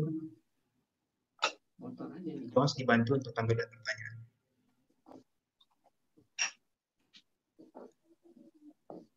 ya sudah ya silakan kos dibantu bacakan ya baik Bante uh, berikutnya ada pertanyaan dari saudara Henry uh, Pertanyaannya adalah, tadi Bante mengatakan contoh, kalau duduk meditasi lalu ada terasa sakit, itu artinya tanda tubuh belum lentur, itu juga masih banyak pelanggaran sila. Mohon Bante mengulang karena saya kurang lengkap menangkap maksud Bante. Ya, ada benar Bante? Oh, kalau kita rajin meditasi, nah itu bagi orang yang pemula ya dia agak sulit. Uh, mengerti, memahami. Apalagi dia belum pernah meditasi. Memang sangat sulit bagi orang yang belum pernah. Nanti sejelas apa pun tetap tidak pernah. Kalau tidak pernah, ya gimana mau dijelasin. Tapi bagi orang yang sudah sering meditasi, sudah melihat sakit sampai dia lenyap, bisa duduk dua jam, tiga jam sampai dia lenyap, Nah, ini gampang Bante jelasin dan dia sudah alami. Jadi untuk menjelaskannya ini, misalnya contoh sekilas saja anggap Anda yang bertanya ini uh, sudah pernah meditasi Bante anggap. Ketika Anda melihat sakit, misalnya sakit baal atau sakit di sendi lutut Anda, satu titik sangat sakit. Lalu kemudian irama sakit sampai dia dia lenyap sampai dia dia longgar, dia lenyap. Muncul lagi, kamu lihat lagi lenyap. Muncul lagi dia lenyap. Nah, itu sebenarnya banyak kama-kama Anda Anda lenyapi. Nah, kama-kama yang lenyapi misalnya kama ini misalnya membuat kamu harus celaka atau akan ditipu orang atau Anda merasa tidak nyaman, itu akan lenyap maksud maksud Bante itu. Untuk hal kayak gini, saran Bante Coba meditasi dulu ya. Nanti datang ke tempat Bante, Bante akan uh, Anda coba, Anda rasakan sendiri. Seperti contohnya satu hal. Kalau seseorang belum pernah makan cabai, Bante ngomong apa pun cabai itu pedas apa pun. Tidak menggigit Anda. Tapi kalau Anda sudah pernah makan cabai, Bante hanya jelasin sedikit. Makan cabai akan akibatnya pedas, kalau cabenya kecil, lebih pedas dan sebagainya. Itu lebih cepat angin dan nangkap. Nah, demikian uh, pertanyaan Anda, jawabannya Pak. Ya, silakan kawas untuk ditampilkan kembali slide yang selanjutnya. Ya, selanjutnya yaitu pertanyaan dari tanpa nama, tidak atau tidak ada namanya. Ya, namo budaya Bante. Saya mau bertanya, bagaimana kalau selalu marah-marah, selalu curiga, bagaimana kita mengikis kekotoran batin itu? Terima kasih, Bante. Oh, gampang sih sebenarnya. Kalau mental datang, biasa Bante ajarin, perut kempes, dada busung, tahan nafas, fokus perhatikan posisi duduk-duduk-duduk, berulang-ulang, berulang-ulang. Nanti dia akan selesai. Coba Anda kalau bagi penanya ini, Anda buka di YouTube juga boleh, Sukeshi Karama TV, atau di web Bante. Di situ ada Anda bisa lihat bagaimana cara meditasi yang baik dan sebagainya. Coba Anda tes dulu. Kalau memang Anda waktu nggak ada, kalau ada waktu ya kamu datang ke tempat center Bante di Bakom boleh silakan. Di sini banyak yogi juga. Ada 10 orang lebih. Ya, demikian yang Ya, baik. Mohon ditampilkan lagi kokos pertanyaan yang lain.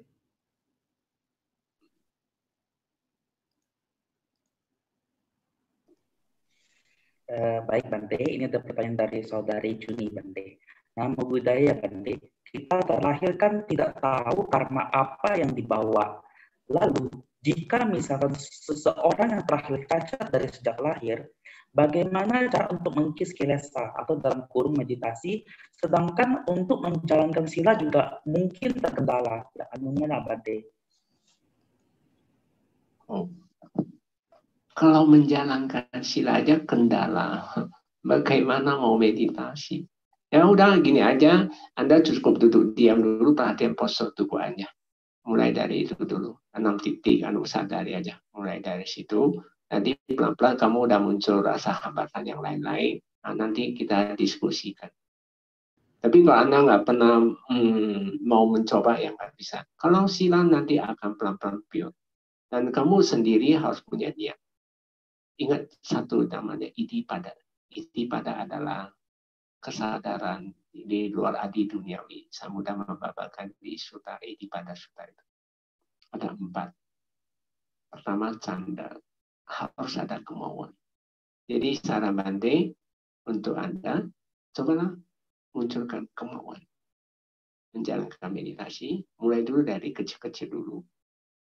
Kalau bisa dulu 15 menit, 15 menit. Kalau bisa satu jam paling bagus. Yang dianjur itu satu jam. Baru bisa gigi. Tapi kalau Anda nggak satu jam, tapi mulailah dari setengah jam. Kalau usahakan sampai satu jam. Lalu jalankan sila. Kamu harus ada kemauan. Lalu ketiga, kedua adalah wirya. Kamu harus ada Eh, semangat. Kemauan dan semangat itu penting. Tanpa kemauan dan kesemangat, nggak bisa. Dan kemauan dan semangat itu tidak ada di pikiran. Semua ada di kesadaran. Tanpa ada kemauan dari diri Anda, tanpa ada semangat dari diri Anda di kesadaran Anda, maka tidak akan muncul kekuatan itu. Yang ketiga adalah di mana kesadaran yang disebut cita itu yang disebut kesadaran dengan netral pada saat itu kamu boleh. Yang lalu yang keempat ada wimamsa. Wimamsa itu adalah banyak kekuatan kebijaksanaan. Karena Anda sering meditasi, kesadaran semakin tingkat, tinggi, itu empat ini akan menjadi mendorong Anda akan memulai berniat untuk mau memulainya. Tapi kalau Anda sama sekali tidak mau starting, nggak mau mulai dulu, tentunya itu omong kosong aja. Seapapun bagus bantai ceramah buat Anda, tapi kalau Anda tetap tidak mau memulai seperti itu, tidak ada serah. Ya, demikian yang Bante bisa sampaikan. Ya, baik ya, Bapak Ibu sekalian, kita masih punya waktu 45 menit. Saya persilakan co-host untuk menyampaikan pertanyaannya.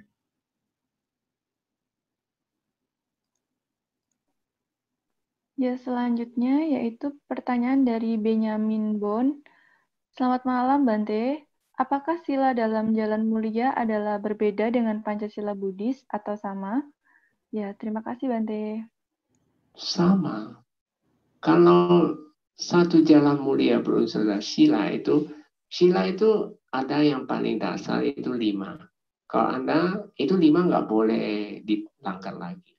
Kalau Pancasila Sang Buddha mengatakan manusia dhamma. Jadi kalau Anda mau lahir jadi manusia maupun dewa, Anda harus pure, usahakan sepure mungkin. Nah, mungkin 100% ya.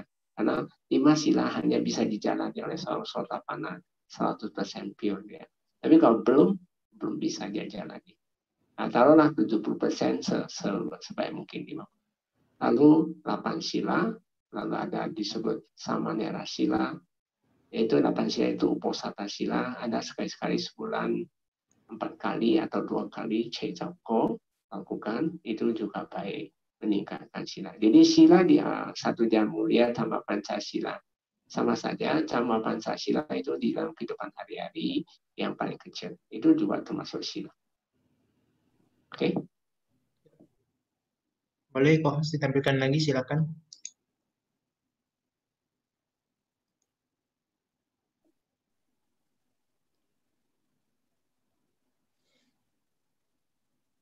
Uh, ya Bante, ada pertanyaan dari saudara Erwan. Uh, Bante, untuk meditasi tiga jam, apakah boleh dibagi beberapa kali dalam satu hari? Misal setengah jam enam kali. Ya, anda mana Bante? Boleh, misalnya pagi satu jam, siang satu jam, malam satu jam. Tapi nanti setelah anda udah eh, muncul hambatan fisik yang sangat membantu ini, lebih baik kamu selesaikan di sesi itu aja jangan robak kaki. Tapi kalau memang masih belum muncul apa-apa, hanya mental-mental, is okay, kamu bagi pagi satu jam, siang satu jam, malam satu jam.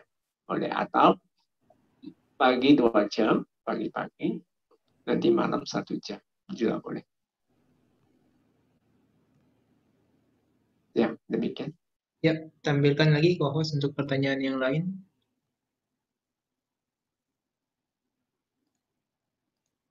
Ya, selanjutnya pertanyaan dari Dragon Cell. Selamat malam Bante, nama budaya.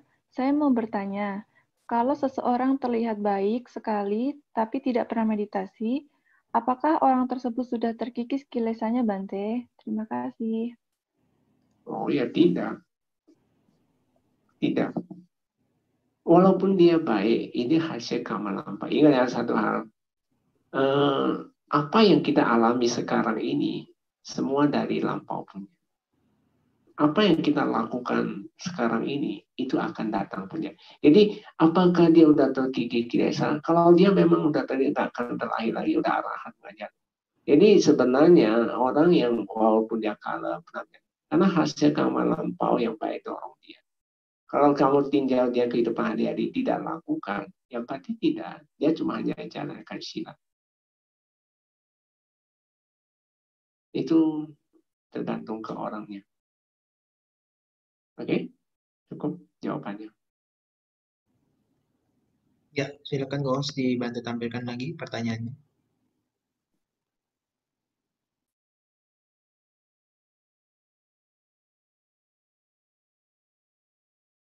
Ini ada pertanyaan dari Ko Hasim, Bante. Setelah seminggu kita membahas tentang bunuh diri kemarin, bahwasanya saya pernah mendengar penjelasan Bante Gunasiri yang cukup menarik soal bunuh diri. Mungkin ada baiknya diketahui oleh umat Bante. Terima kasih. Maksudnya bunuh diri. Ya, ada kemarin ada penjelasan tentang bunuh diri. Mungkin Bante bisa menjelaskan sedikit uh, kepada umat supaya uh, ada pengertian yang benar uh, yang bisa Bante sampaikan juga.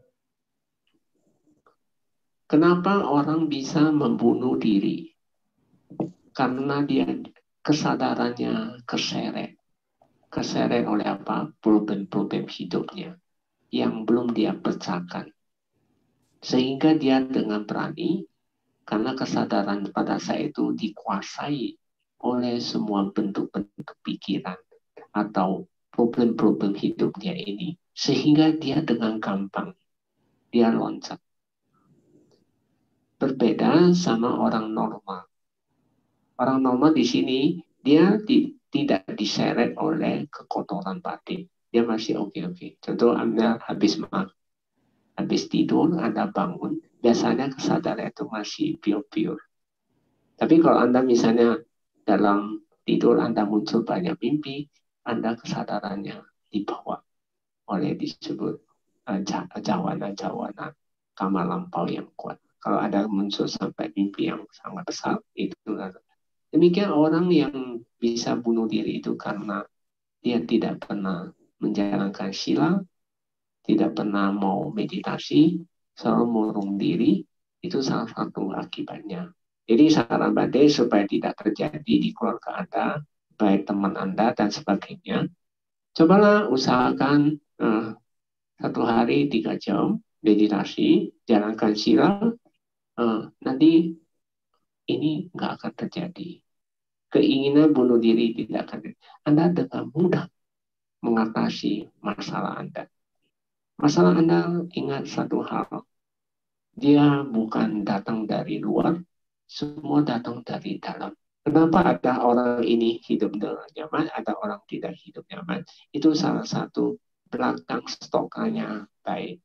Tapi kalau dia sering mengatur dia dengan baik dengan meditasi, di dalam belakangnya ini akan mendorong yang baik-baik semua, maka dia tidak akan terjadi apa-apa. Jadi orang bisa bunuh diri karena di belakangnya itu jelek sekali. Sehingga mendorong dia, obsesi dia, cenderung melanggar sila. Membunuh. membunuh diri termasuk melanggar sila pertama. Anda melakukan pembunuhan diri dengan loncat, dengan apa, dengan minum, dan sebagainya itu termasuk Anda melanggar sila pertama. Oke, cukup.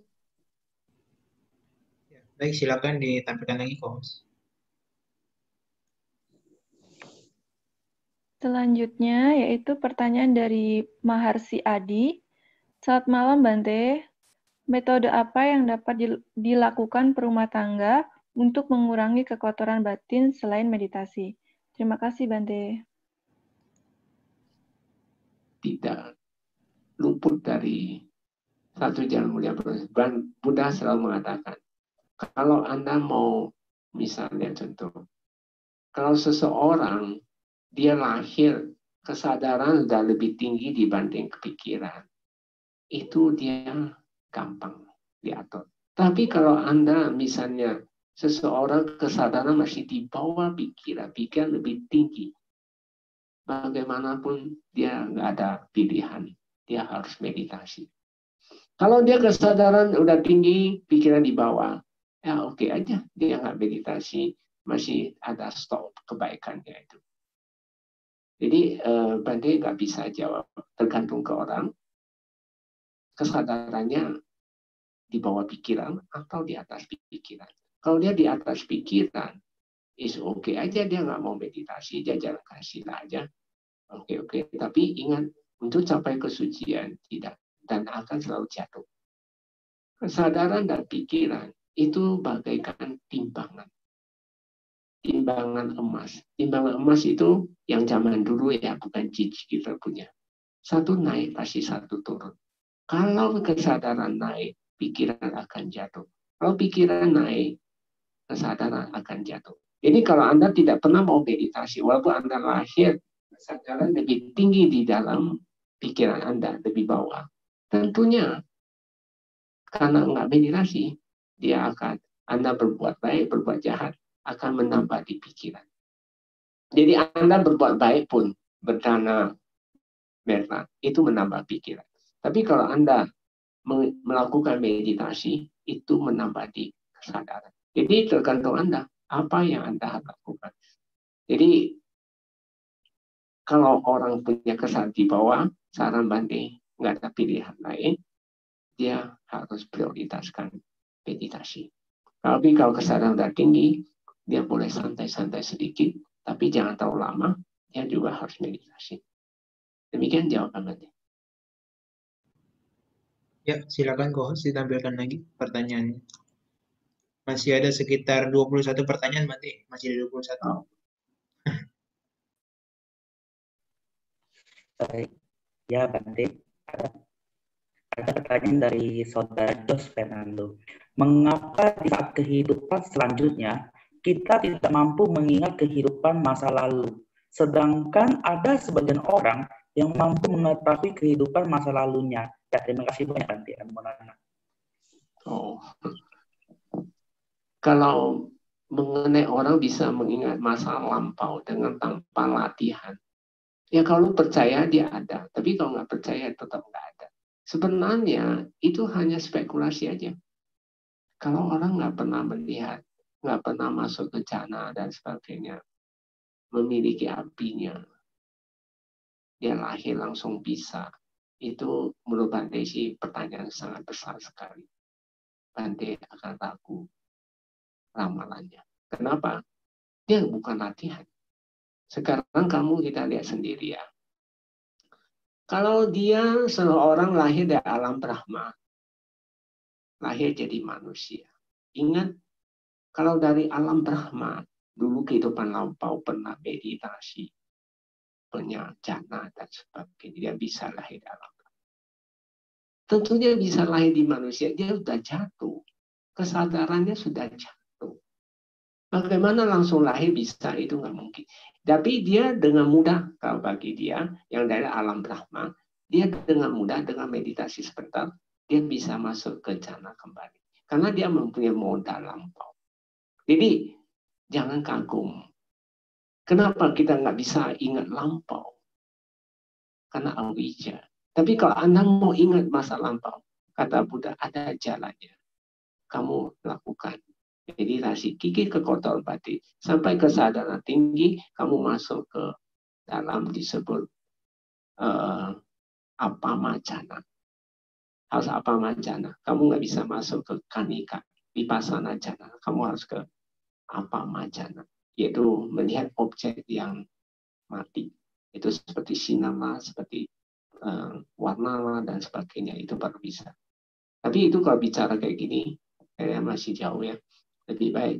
Demikian pertanyaan Anda, tadi sudah jawab, bahwa jangan kagum. Masalah kita nggak bisa masa lalu itu bukan karena karena kita tidak mampu aja. Satu contoh sederhana supaya Anda puas. Kalau di ruangan ruangan tempat Bante ini, kalau kita pakai alat radio, kita bisa mendengar suara radio. Tapi tanpa alat radio, kita nggak bisa dengar suara radio itu. Itu kenapa? Padahal dia ada. Ini sesuatu yang kamu nggak dengar, bukan berarti tidak ada. Dia ada. Kamu tidak mampu aja. Jadi masalah Anda mampu atau tidak aja. Kalau Anda di ruangan ini kamu pakai alat TV, kita bisa ikut acara TV. Tapi kalau tanpa alat TV, kita nggak bisa mata telanjang kita ini untuk lihat acara TV. Nggak mungkin. Karena apa? Kita nggak mampu. Mata kita nggak mampu. Jadi sesuatu yang tidak dilihat, tidak didengar bukan berarti tidak ada. Jadi masalah orang bisa mampu atau tidak, itu nggak usah kamu pusingkan. Kalau kamu mau ya, kamu meditasi sampai capai kesadaran lebih tinggi, lalu kamu masuk di apa mah baru bisa. Atau kamu mau meditasi sampai capai kesucian, itu juga otomatis nanti kamu akan muncul jana. Jana itu nggak perlu dikejar. Jana itu akan muncul sendiri setelah anak kami. Oke?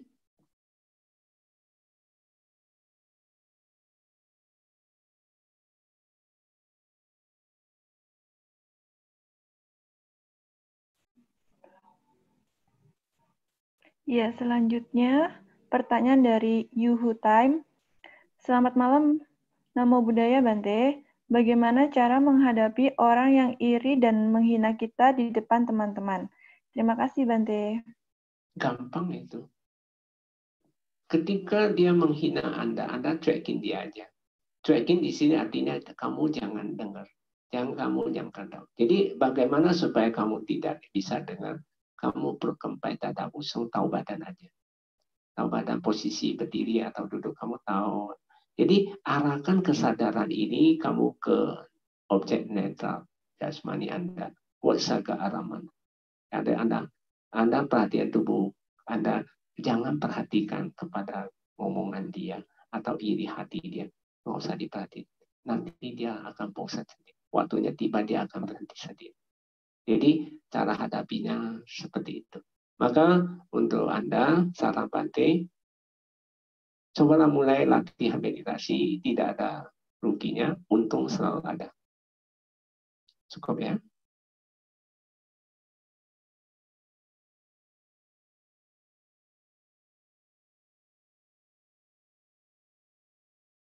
Uh, ya Bante, ada pertanyaan dari Erni dan Ricky. Sukihoto Bante, apakah kita bisa mengetahui bahwa perbuatan atau karma yang telah kita lakukan akan jatuh di jawana keberapa? Satu, dua, tiga, empat, lima, enam, atau tujuh? Ya, anda mengenai Bante. Jawana ini ketika mimpi. Ketika mimpi baru kita bisa ya. Atau ketika Anda dalam meditasi, anda juga bisa tahu ini kuat atau tidak. Kalau misalnya dalam mimpi lebih sederhana, mungkin lebih Anda lebih ngerti. Kalau Anda misalnya sampai jawana tujuh, itu gambarnya sangat jelas. Misalnya kamu melihat seorang orang itu jelas sekali. Tapi kalau sampai jana satu, dua, tiga, biasanya kamu tahu kamu mimpi, tapi nggak ada gambar, nggak ada yang kamu bisa lihat. Itu cuma kekuatannya lemah sekali. Nah, demikian pengukurannya.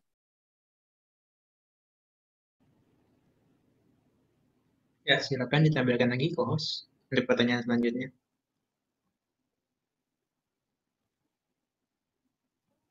Hmm.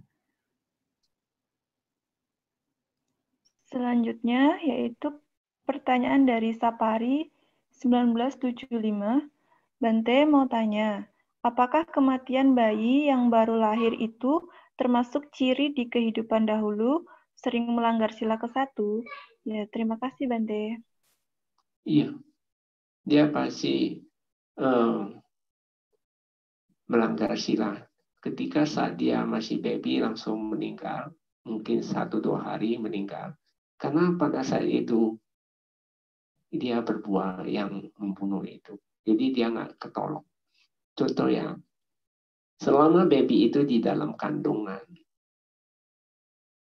Kalau baby itu juga memiliki kama, ketika dia mau masuk ke dalam kandungan, sel telur dan sel uh, jantan itu bertemu. Pas dia masuk, itu pada saat itu kamanya bersamaan. Tapi setelah dia udah masuk, menjadi benih, berbuah, dia sudah berkembang kama dia sendiri. Jadi makanya uh, di dalam abidama, kalau seseorang dalam 11 minggu atau tiga bulan identik, dalam kandungan ibu muncul cacat. Berarti anak ini memiliki karma buruk. Kalau bidama, anak ini tidak bisa capai kesucian di kehidupan ini. Kalau dia udah cacat setelah lahir, nah, mungkin cacat dari bukan karena sejak lahir, bukan dari tiga minggu, tujuh, sebelas minggu itu, tapi setelah mungkin ada kecelakaan, ada karma buruk, ah, itu kemungkinan dia bisa lah, bisa capai kesucian. Ya, demikian jawabannya.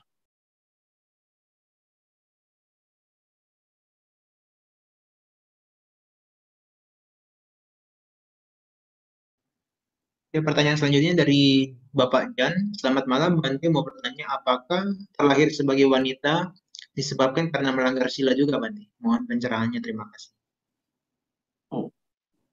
Kalau menurut uh, apa yang Buddha ajarkan, kalau lihat perempuan karena sila ketiga. Jadi contoh ya, dia melanggar sila ketiga. Atau dia melakukan terlalu banyak hubungan kelamin. Itu juga bisa mengakibatkan lahir jadi perempuan. Kalau seorang misalnya laki, dia hidup berselipat. Dijamin dia pasti laki. Tapi kalau dia tidak, dia melakukan pelanggaran seksual dengan menghambur-hambur, dia pasti akan datang, dia pasti perempuan. Demikian perempuan juga sama, kalau dia hidup selibat atau dia hidup berumah tangga, tapi cukup hanya lahir. Contoh kita lihat Bodhisattva ya. Bodhisattva, beliau berumah tangga. Tapi setelah punya anak, mereka sudah bisa ranjang. Mereka sudah masing-masing menjalankan sila. Nah itu bisa saja akan bertahan. Jadi akibat pelanggaran sila, laki dan perempuan, kalau sering melakukan hubungan kelamin akan jadi perempuan. Itu jawabannya.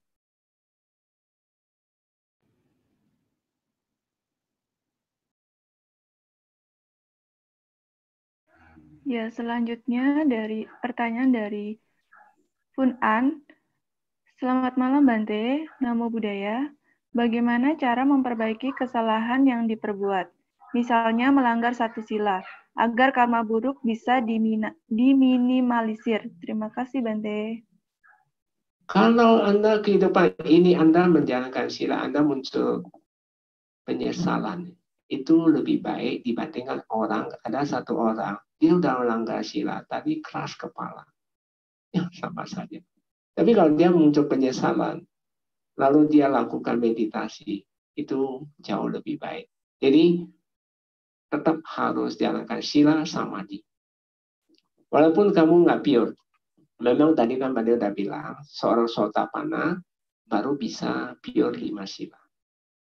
Jadi kalau Anda belum sampai sotapana, bisa 70% itu udah bagus. Tapi jangan cuma 50% silanya. Jadi pure 70% itu lebih aman dibandingkan tidak. Jadi um, saya rasa semua ada yang melanggar sila. Kalau dia masih belum capai tataran kesucian. Nah, tapi dia minimum cuma 70%, contoh yang kecil-kecil aja. Nah, itu masih imbang lah. 70 sama 30 persen masih oke okay lah. Kalau Anda benar-benar mau pure, tidak mau langgar sila, ya berjuanglah sekarang ini mencapai minimum sotapana, maka Anda akan pure. Demikian jawabannya.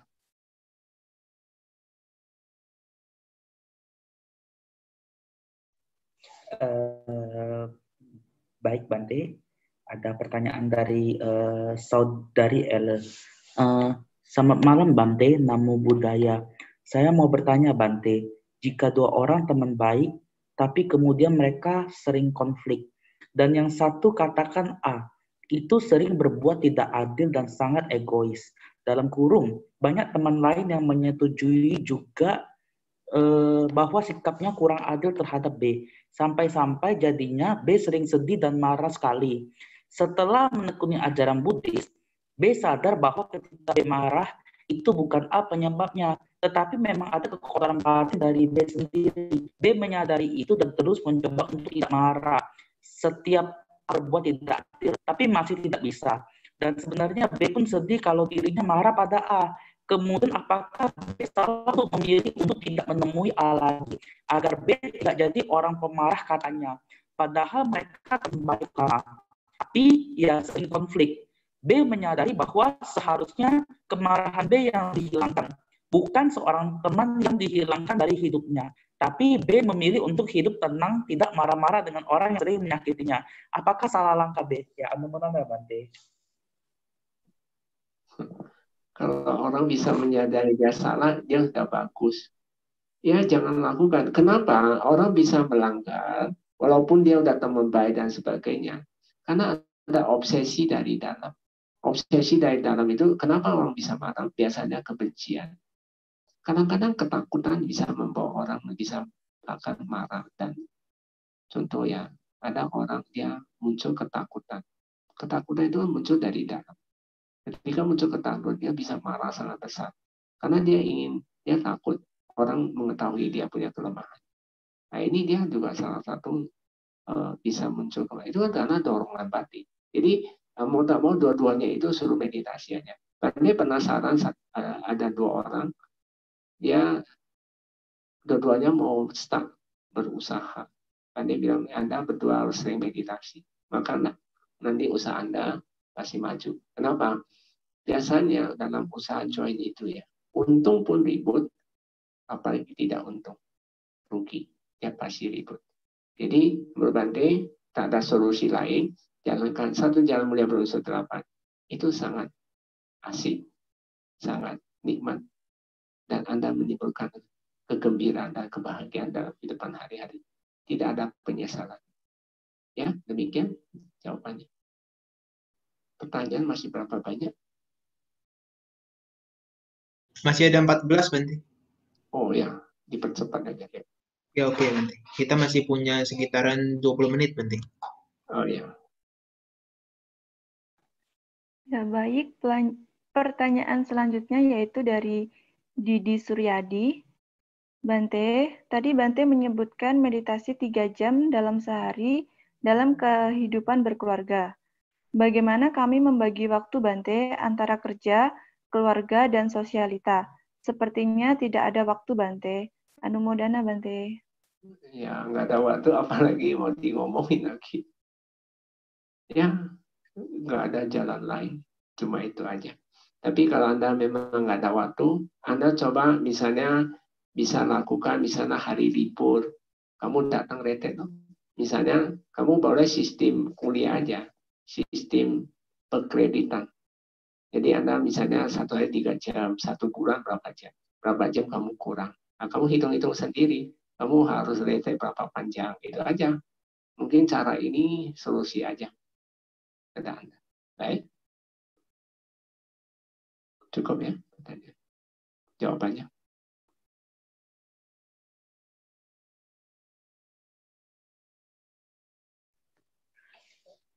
Uh, ya Bante,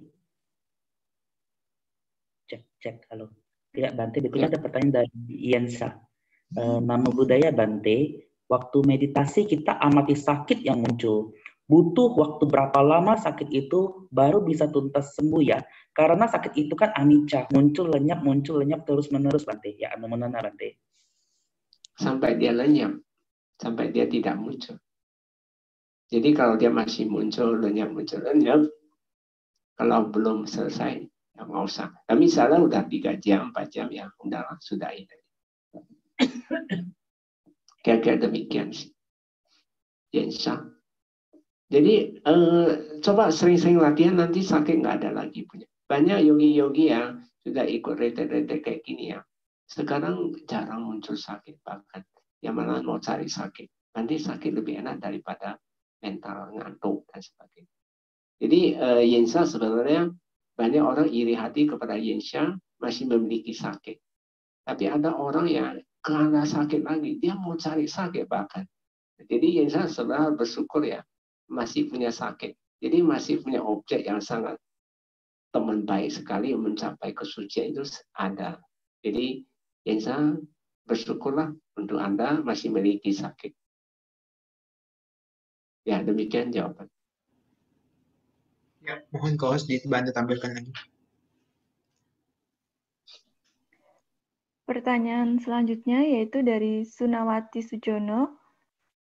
Mohon penjelasan Bante, apakah memungkinkan perumah tangga dalam kehidupan ini mencapai sotapana? Terima kasih Bante. Bisa, siapa bilang? Berumah tangga dan tidak berumah tangga itu artinya gini, kalau Anda sudah berumah tangga terlanjur, lalu Anda ingin mencapai sotapana, ya kamu harus uh, prioritaskan meditasi retret panjang. Bisa. Siapa bilang nggak bisa? Jadi kalau Anda tidak mau lakukan retret panjang, ya nggak bisa lah. Hanya kehidupan hari-hari Anda hanya jalan tiga jam, tiga jam mau sotapana, ngomong kosong. Bante tidak mau bohong, Bante memang itu nggak bisa. Bante bukan mau menghibur Anda, Seseorang yang mau retret panjang kata Samuda, dia harus mencari tempat yang sepi, dia harus menenangkan diri sendiri, mengamati semua fenomena-fenomena yang muncul di dalam tubuhnya maupun perasaan-perasaan. Jadi eh, jawabannya bisa. Tapi ada tanda kutipnya, Anda harus meditasi. Retret panjang. Ya, demikian jawabannya.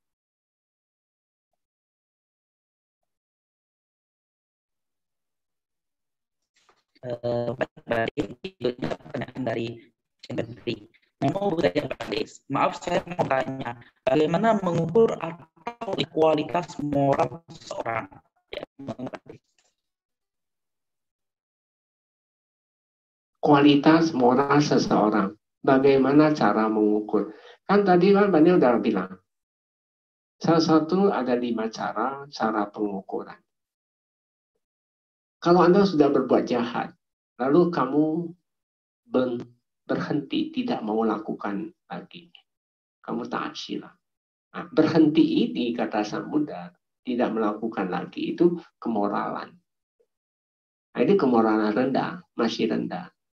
Tapi yang kedua, kamu ada satu disebut menolak. Contoh Anda ada teman lagi yang lama ajak kamu lagi, ayo mancing yuk, ada apa? Tapi kamu menolak, tidak tidak mau.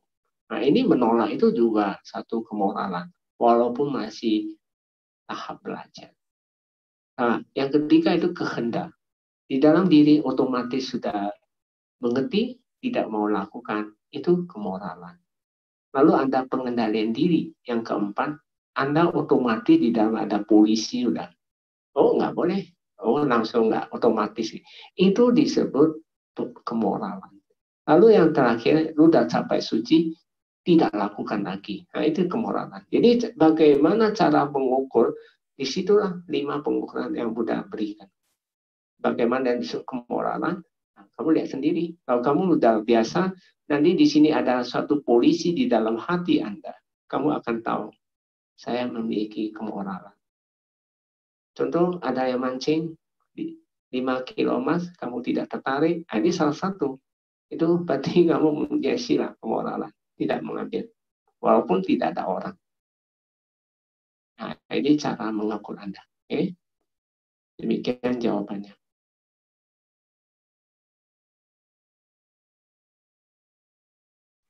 Selanjutnya pertanyaan dari Raymond Virgi. Namo Buddhaya Bante yang kami hormati, bagaimana orang yang sudah berumur ada sakit pada kaki sehingga sulit berjalan bisa bermeditasi. Mohon sarannya sebaiknya mulai meditasi apa? Terima kasih, Bante. Kalau dia sulit jalan, ya suruh duduk di kursi aja. Asal jangan nyender. Coba perhatian postur tubuh, sedapat dia aja lah. Karena dia sudah tua, kalau nggak bisa terlalu di force, kecuali dia masih muda. Maka Bante saran kepada yang masih muda, jangan buang-buang masa muda Anda. Hanya mengikuti pikiran Anda.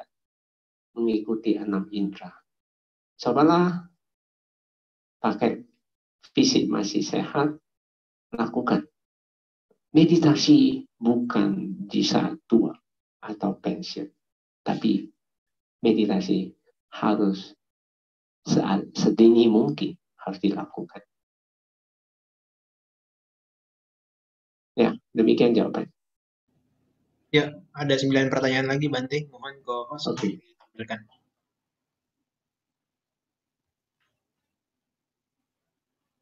Ini ada pertanyaan dari Ferianto, Bante. Saya ingin bertanya, Buddha mengajarkan bahwa semua hal yang terjadi dalam hidup kita adalah hasil buah karma dari masa lampau. Bahkan petapa Gotama menjadi Buddha juga karena kumpulan karma masa lampau yang berbuah. Pertanyaan saya, apakah bisa kita sebagai manusia yang masih putu jana bisa mengubah masa depan kita? Pada bagian apa kita bisa mengaturnya? Terima kasih, Bante. Oh bisa, pasti bisa. Bisa merubah. Kan tadi tadi kan dari awal udah bilang kesadaran menentukan kualitas hidup Anda. Kalau Anda mau mengikat, meng- mengangkat harga diri Anda dari orang yang nggak punya atau dari orang yang nggak punya moral, kita dengan meditasi dia akan mengangkat harga kita. Harga kita terangkat karena kesadaran kita kita tingginya. Bukan pikiran yang ditinggikan, tapi pikiran yang dijatuhkan, direndahkan. Jadi bisa. Kalau masalah Buddha kan pernah ngomong kepada para biku, para biku, kalian dan saya, kenapa bisa lahir mati, lahir mati di samsara ini? Buddha mengatakan, karena kita nggak ada pengertian, pemahaman, dan penembuskan pengalaman, pengetahuan tentang apa? Tentang empat hal.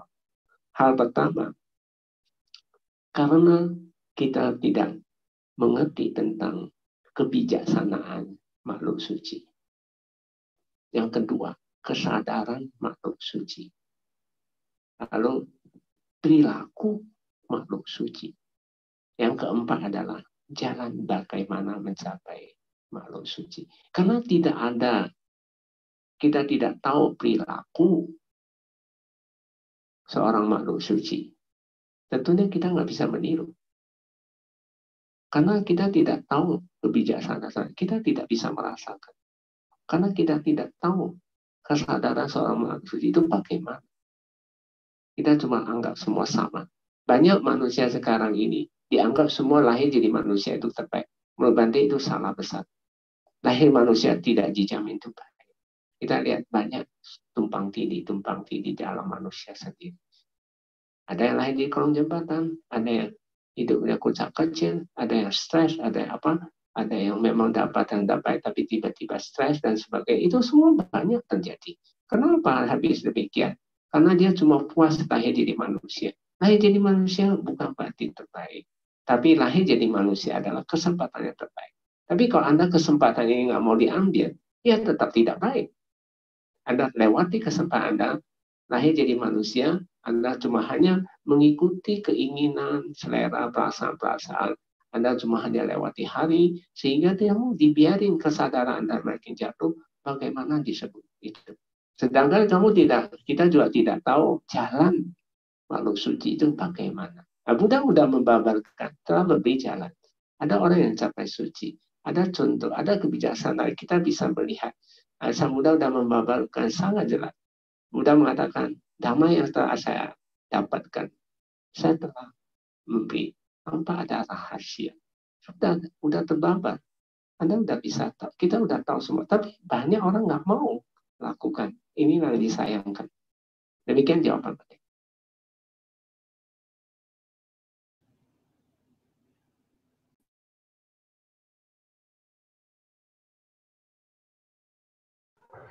Ya, selanjutnya pertanyaan dari Adi Wijaya.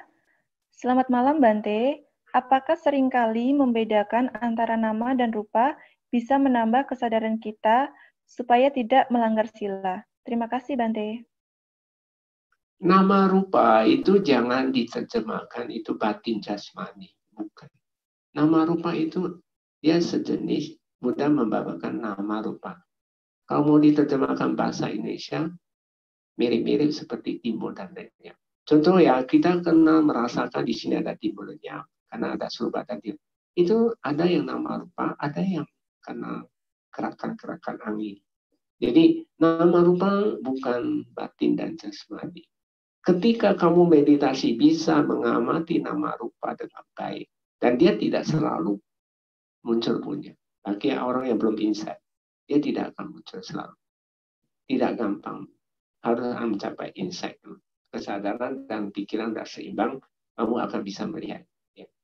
Ketika Anda bisa melihat dia pun, kadang-kadang dia bisa muncul yang pelepasan. Pelepasan artinya, karena nama rupa itu dia menerima, menyimpan, dan mengeluarkan kamar-kamar yang pernah Anda lakukan. Jadi ketika dia melempar, mengeluarkan, saat melempar, mengeluarkan, mirip-mirip seperti timbulnya, tapi itu belum tentu nama rupa. Jadi nama rupa adalah sebenarnya uh, termasuk setia sekali mengikuti seseorang. Kita lahir di binatang, dia ikut lahir di binatang. Lahir di dewa, dia jadi dewa. Lahir jadi manusia, jadi dia manusia. Nama rupa adalah ada di dalam seluruh tubuh kita. Demikian jawabannya.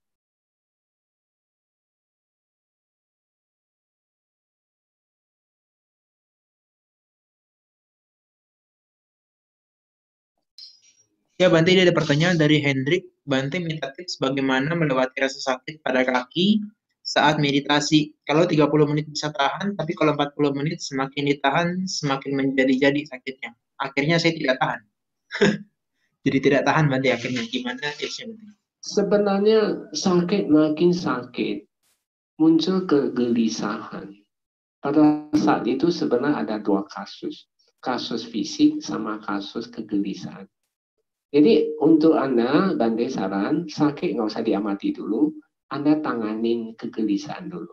Dengan langkah dua, perut kempes, dada kosong, duduk, duduk, duduk, duduk, perut kempes. Jadi kesadaran Anda cuma tahu di situ, sehingga kegelisahan sudah lewat, yang namanya fisik masih sakit, Anda lanjut lagi, dia pasti ada sakitnya. Kalau untuk menyembuhkan di fisik, dia butuh waktu. Jadi untuk atasi hal-hal kayak gini, makin sakit. Kamu nggak sudah nggak suka, nggak tahan lagi. Lebih baik kamu jangan roba kaki. Kamu biarin dia, jangan amati sakit lagi. Kamu amati perut kempes, dada busung, duduk, duduk, duduk. Ini sampai mental kamu kegelisahan lenyap. Udah lenyap, udah tenang, kamu kembali ke lihat sakit. Ini solusinya. Ya, demikian jawabannya.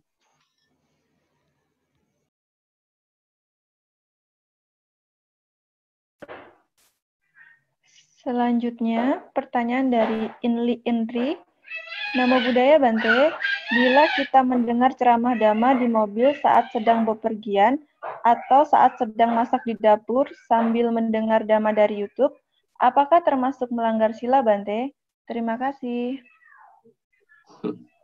Kalau mendengar dhamma sambil kerja ya biasanya nggak efektif. Contoh aja ya,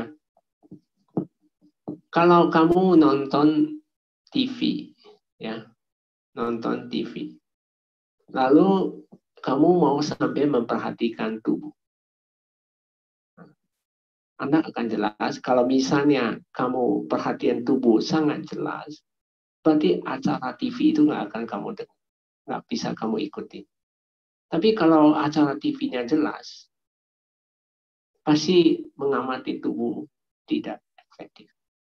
Jadi sambil kerja sampai itu membantai tidak efektif. Apakah melanggar sila? Ya tidak juga, tapi tidak efektif saja. Demikian jawabannya.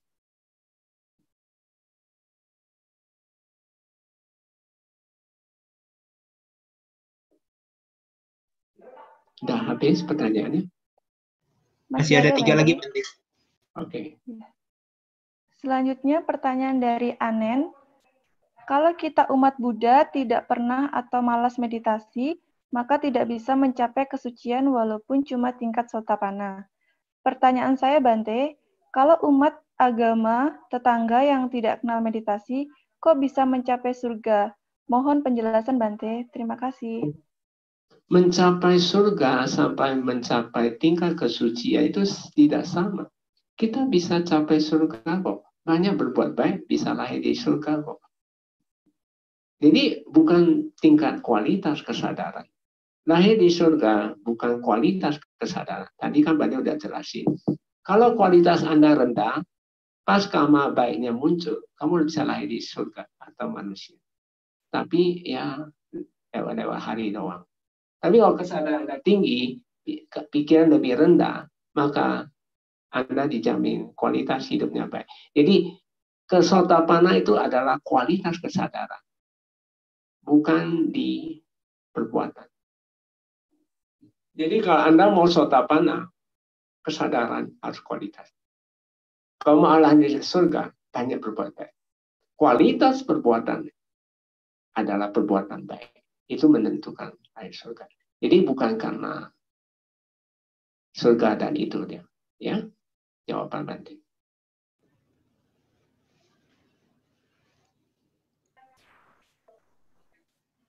Pertanyaan selanjutnya, Bante, dari Westmort 12. Namo Buddhaya, Bante, mau tanya, jika di kehidupan ini memiliki anak yang cacat, apakah itu buah karma lampau? Terima kasih, Bante.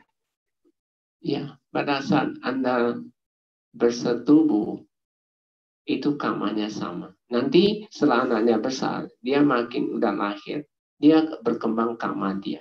Jadi itu juga termasuk kama, kama bersama. Ya, ini jawabannya.